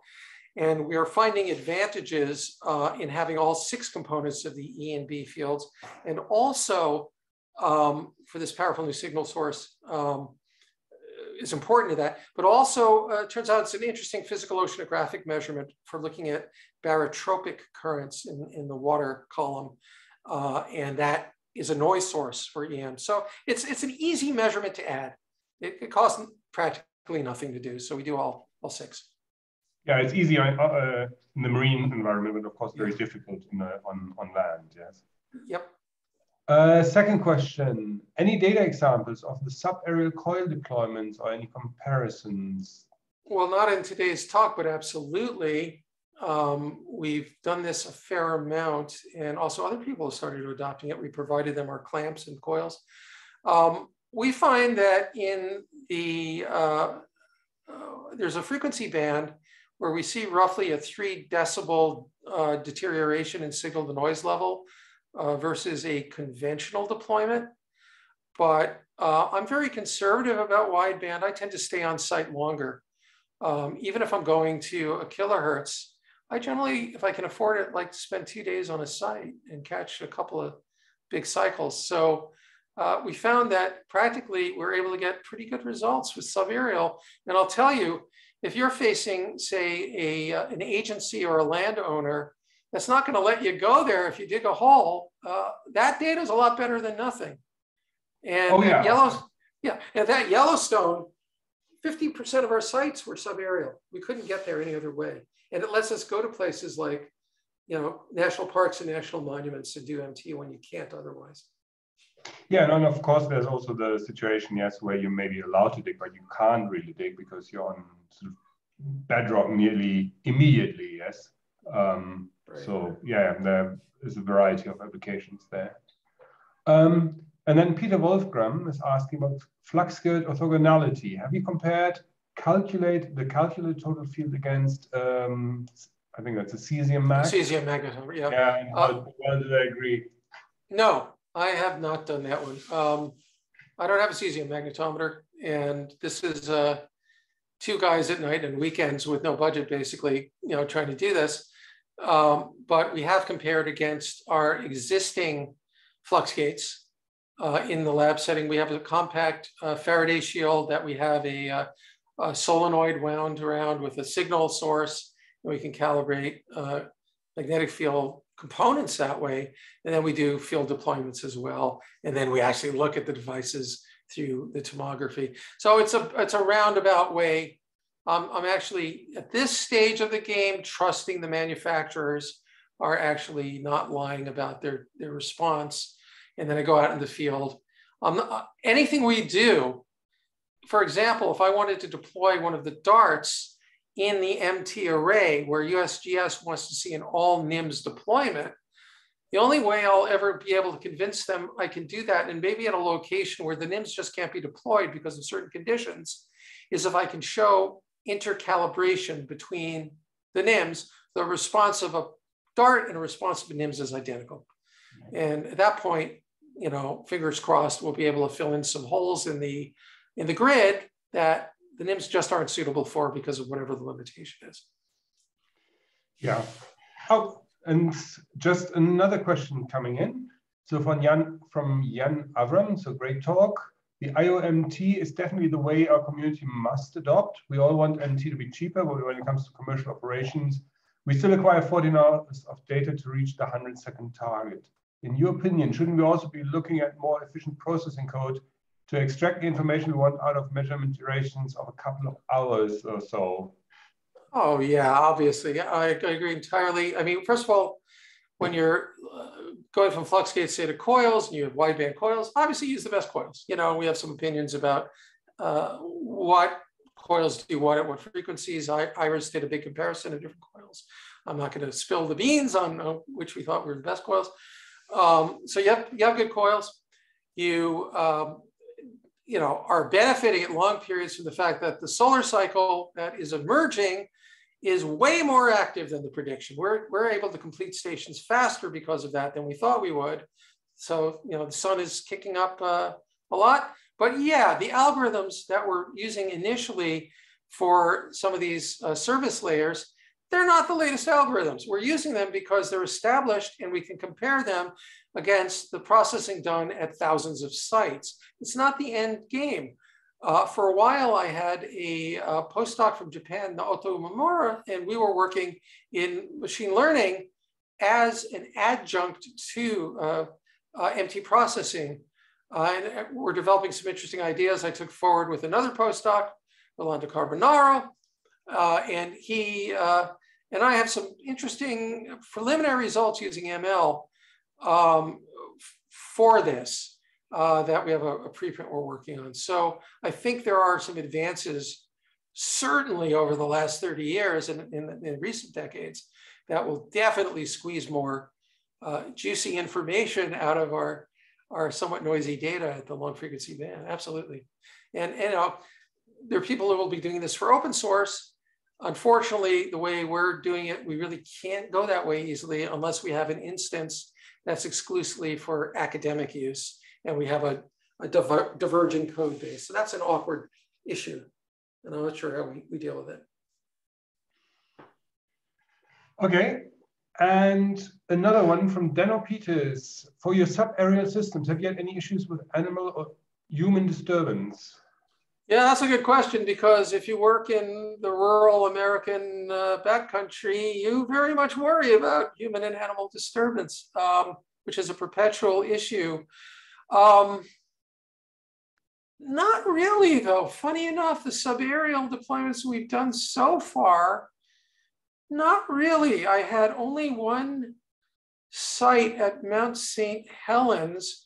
It was kind of a ledge off the side of a road, off the side of the blast zone, that turned out to be a location where elk hunters like to shoot these elk and drag their bodies and they like dragging them right over our coils, you know, so that was an exceptional circumstance. But other than that one, I don't think we really have had an issue with that.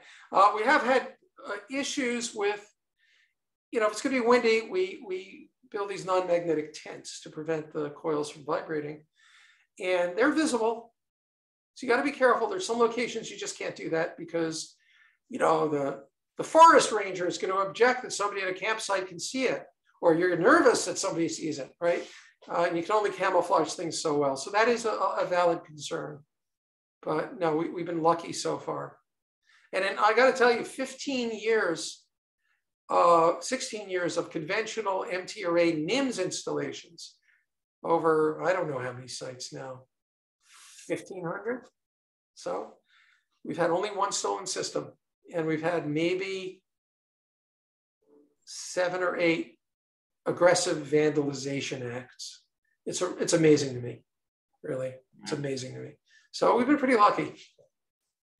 Yeah, I mean, fortunately, most people are reasonably sen uh, sensible, yes, when they see this. And they might be curious and disturbed, but not necessarily sort of. In Germany, when when our equipment says property of the U.S. government, you might as well paint a bullseye on it. yeah, well, of course. It's certainly in some parts. Okay, um, there are no current open questions. So given the advanced time, I think we'll leave it at this, but yeah, feel free to, um, okay, the last one, quick one. Oh, no, two. Oh, now they're coming. okay. Keep them coming.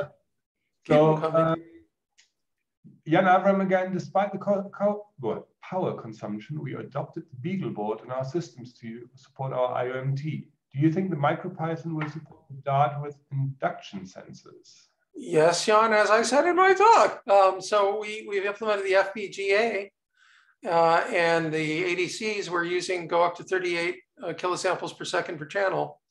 And while we haven't proven jitter-free data acquisition yet, uh, at that level, um, I'm pretty sure we're going to be getting up well, well into the kilohertz band uh, because of the FPGA. So it's MicroPython plus FPGA. So yes. And then chat-wise, what is the added burden in, cost, in terms of cost of time of deploying electrode pairs for MT? Are there any technologies on the horizon for reducing this cost? Solid state devices? Yeah, um, that's an interesting question, actually. It's a very difficult question. Uh, oh, thanks, Peter. Um,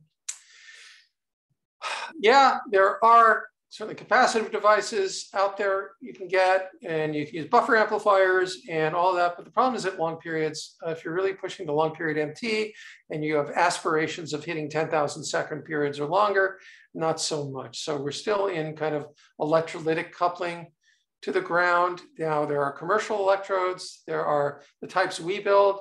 We build a dual chamber gel style electrode. We built actually, we had 3,000 uh, electrode shells, uh, custom injection molded in China with a custom uh, polymer alloy, you know, all optimized to make assembly quick and efficient and disassembly and repair very quick. Um, there are commercial electrodes that use solid state electrodes that also work very well. Um, and we're actually experimenting with a, a, new version of that.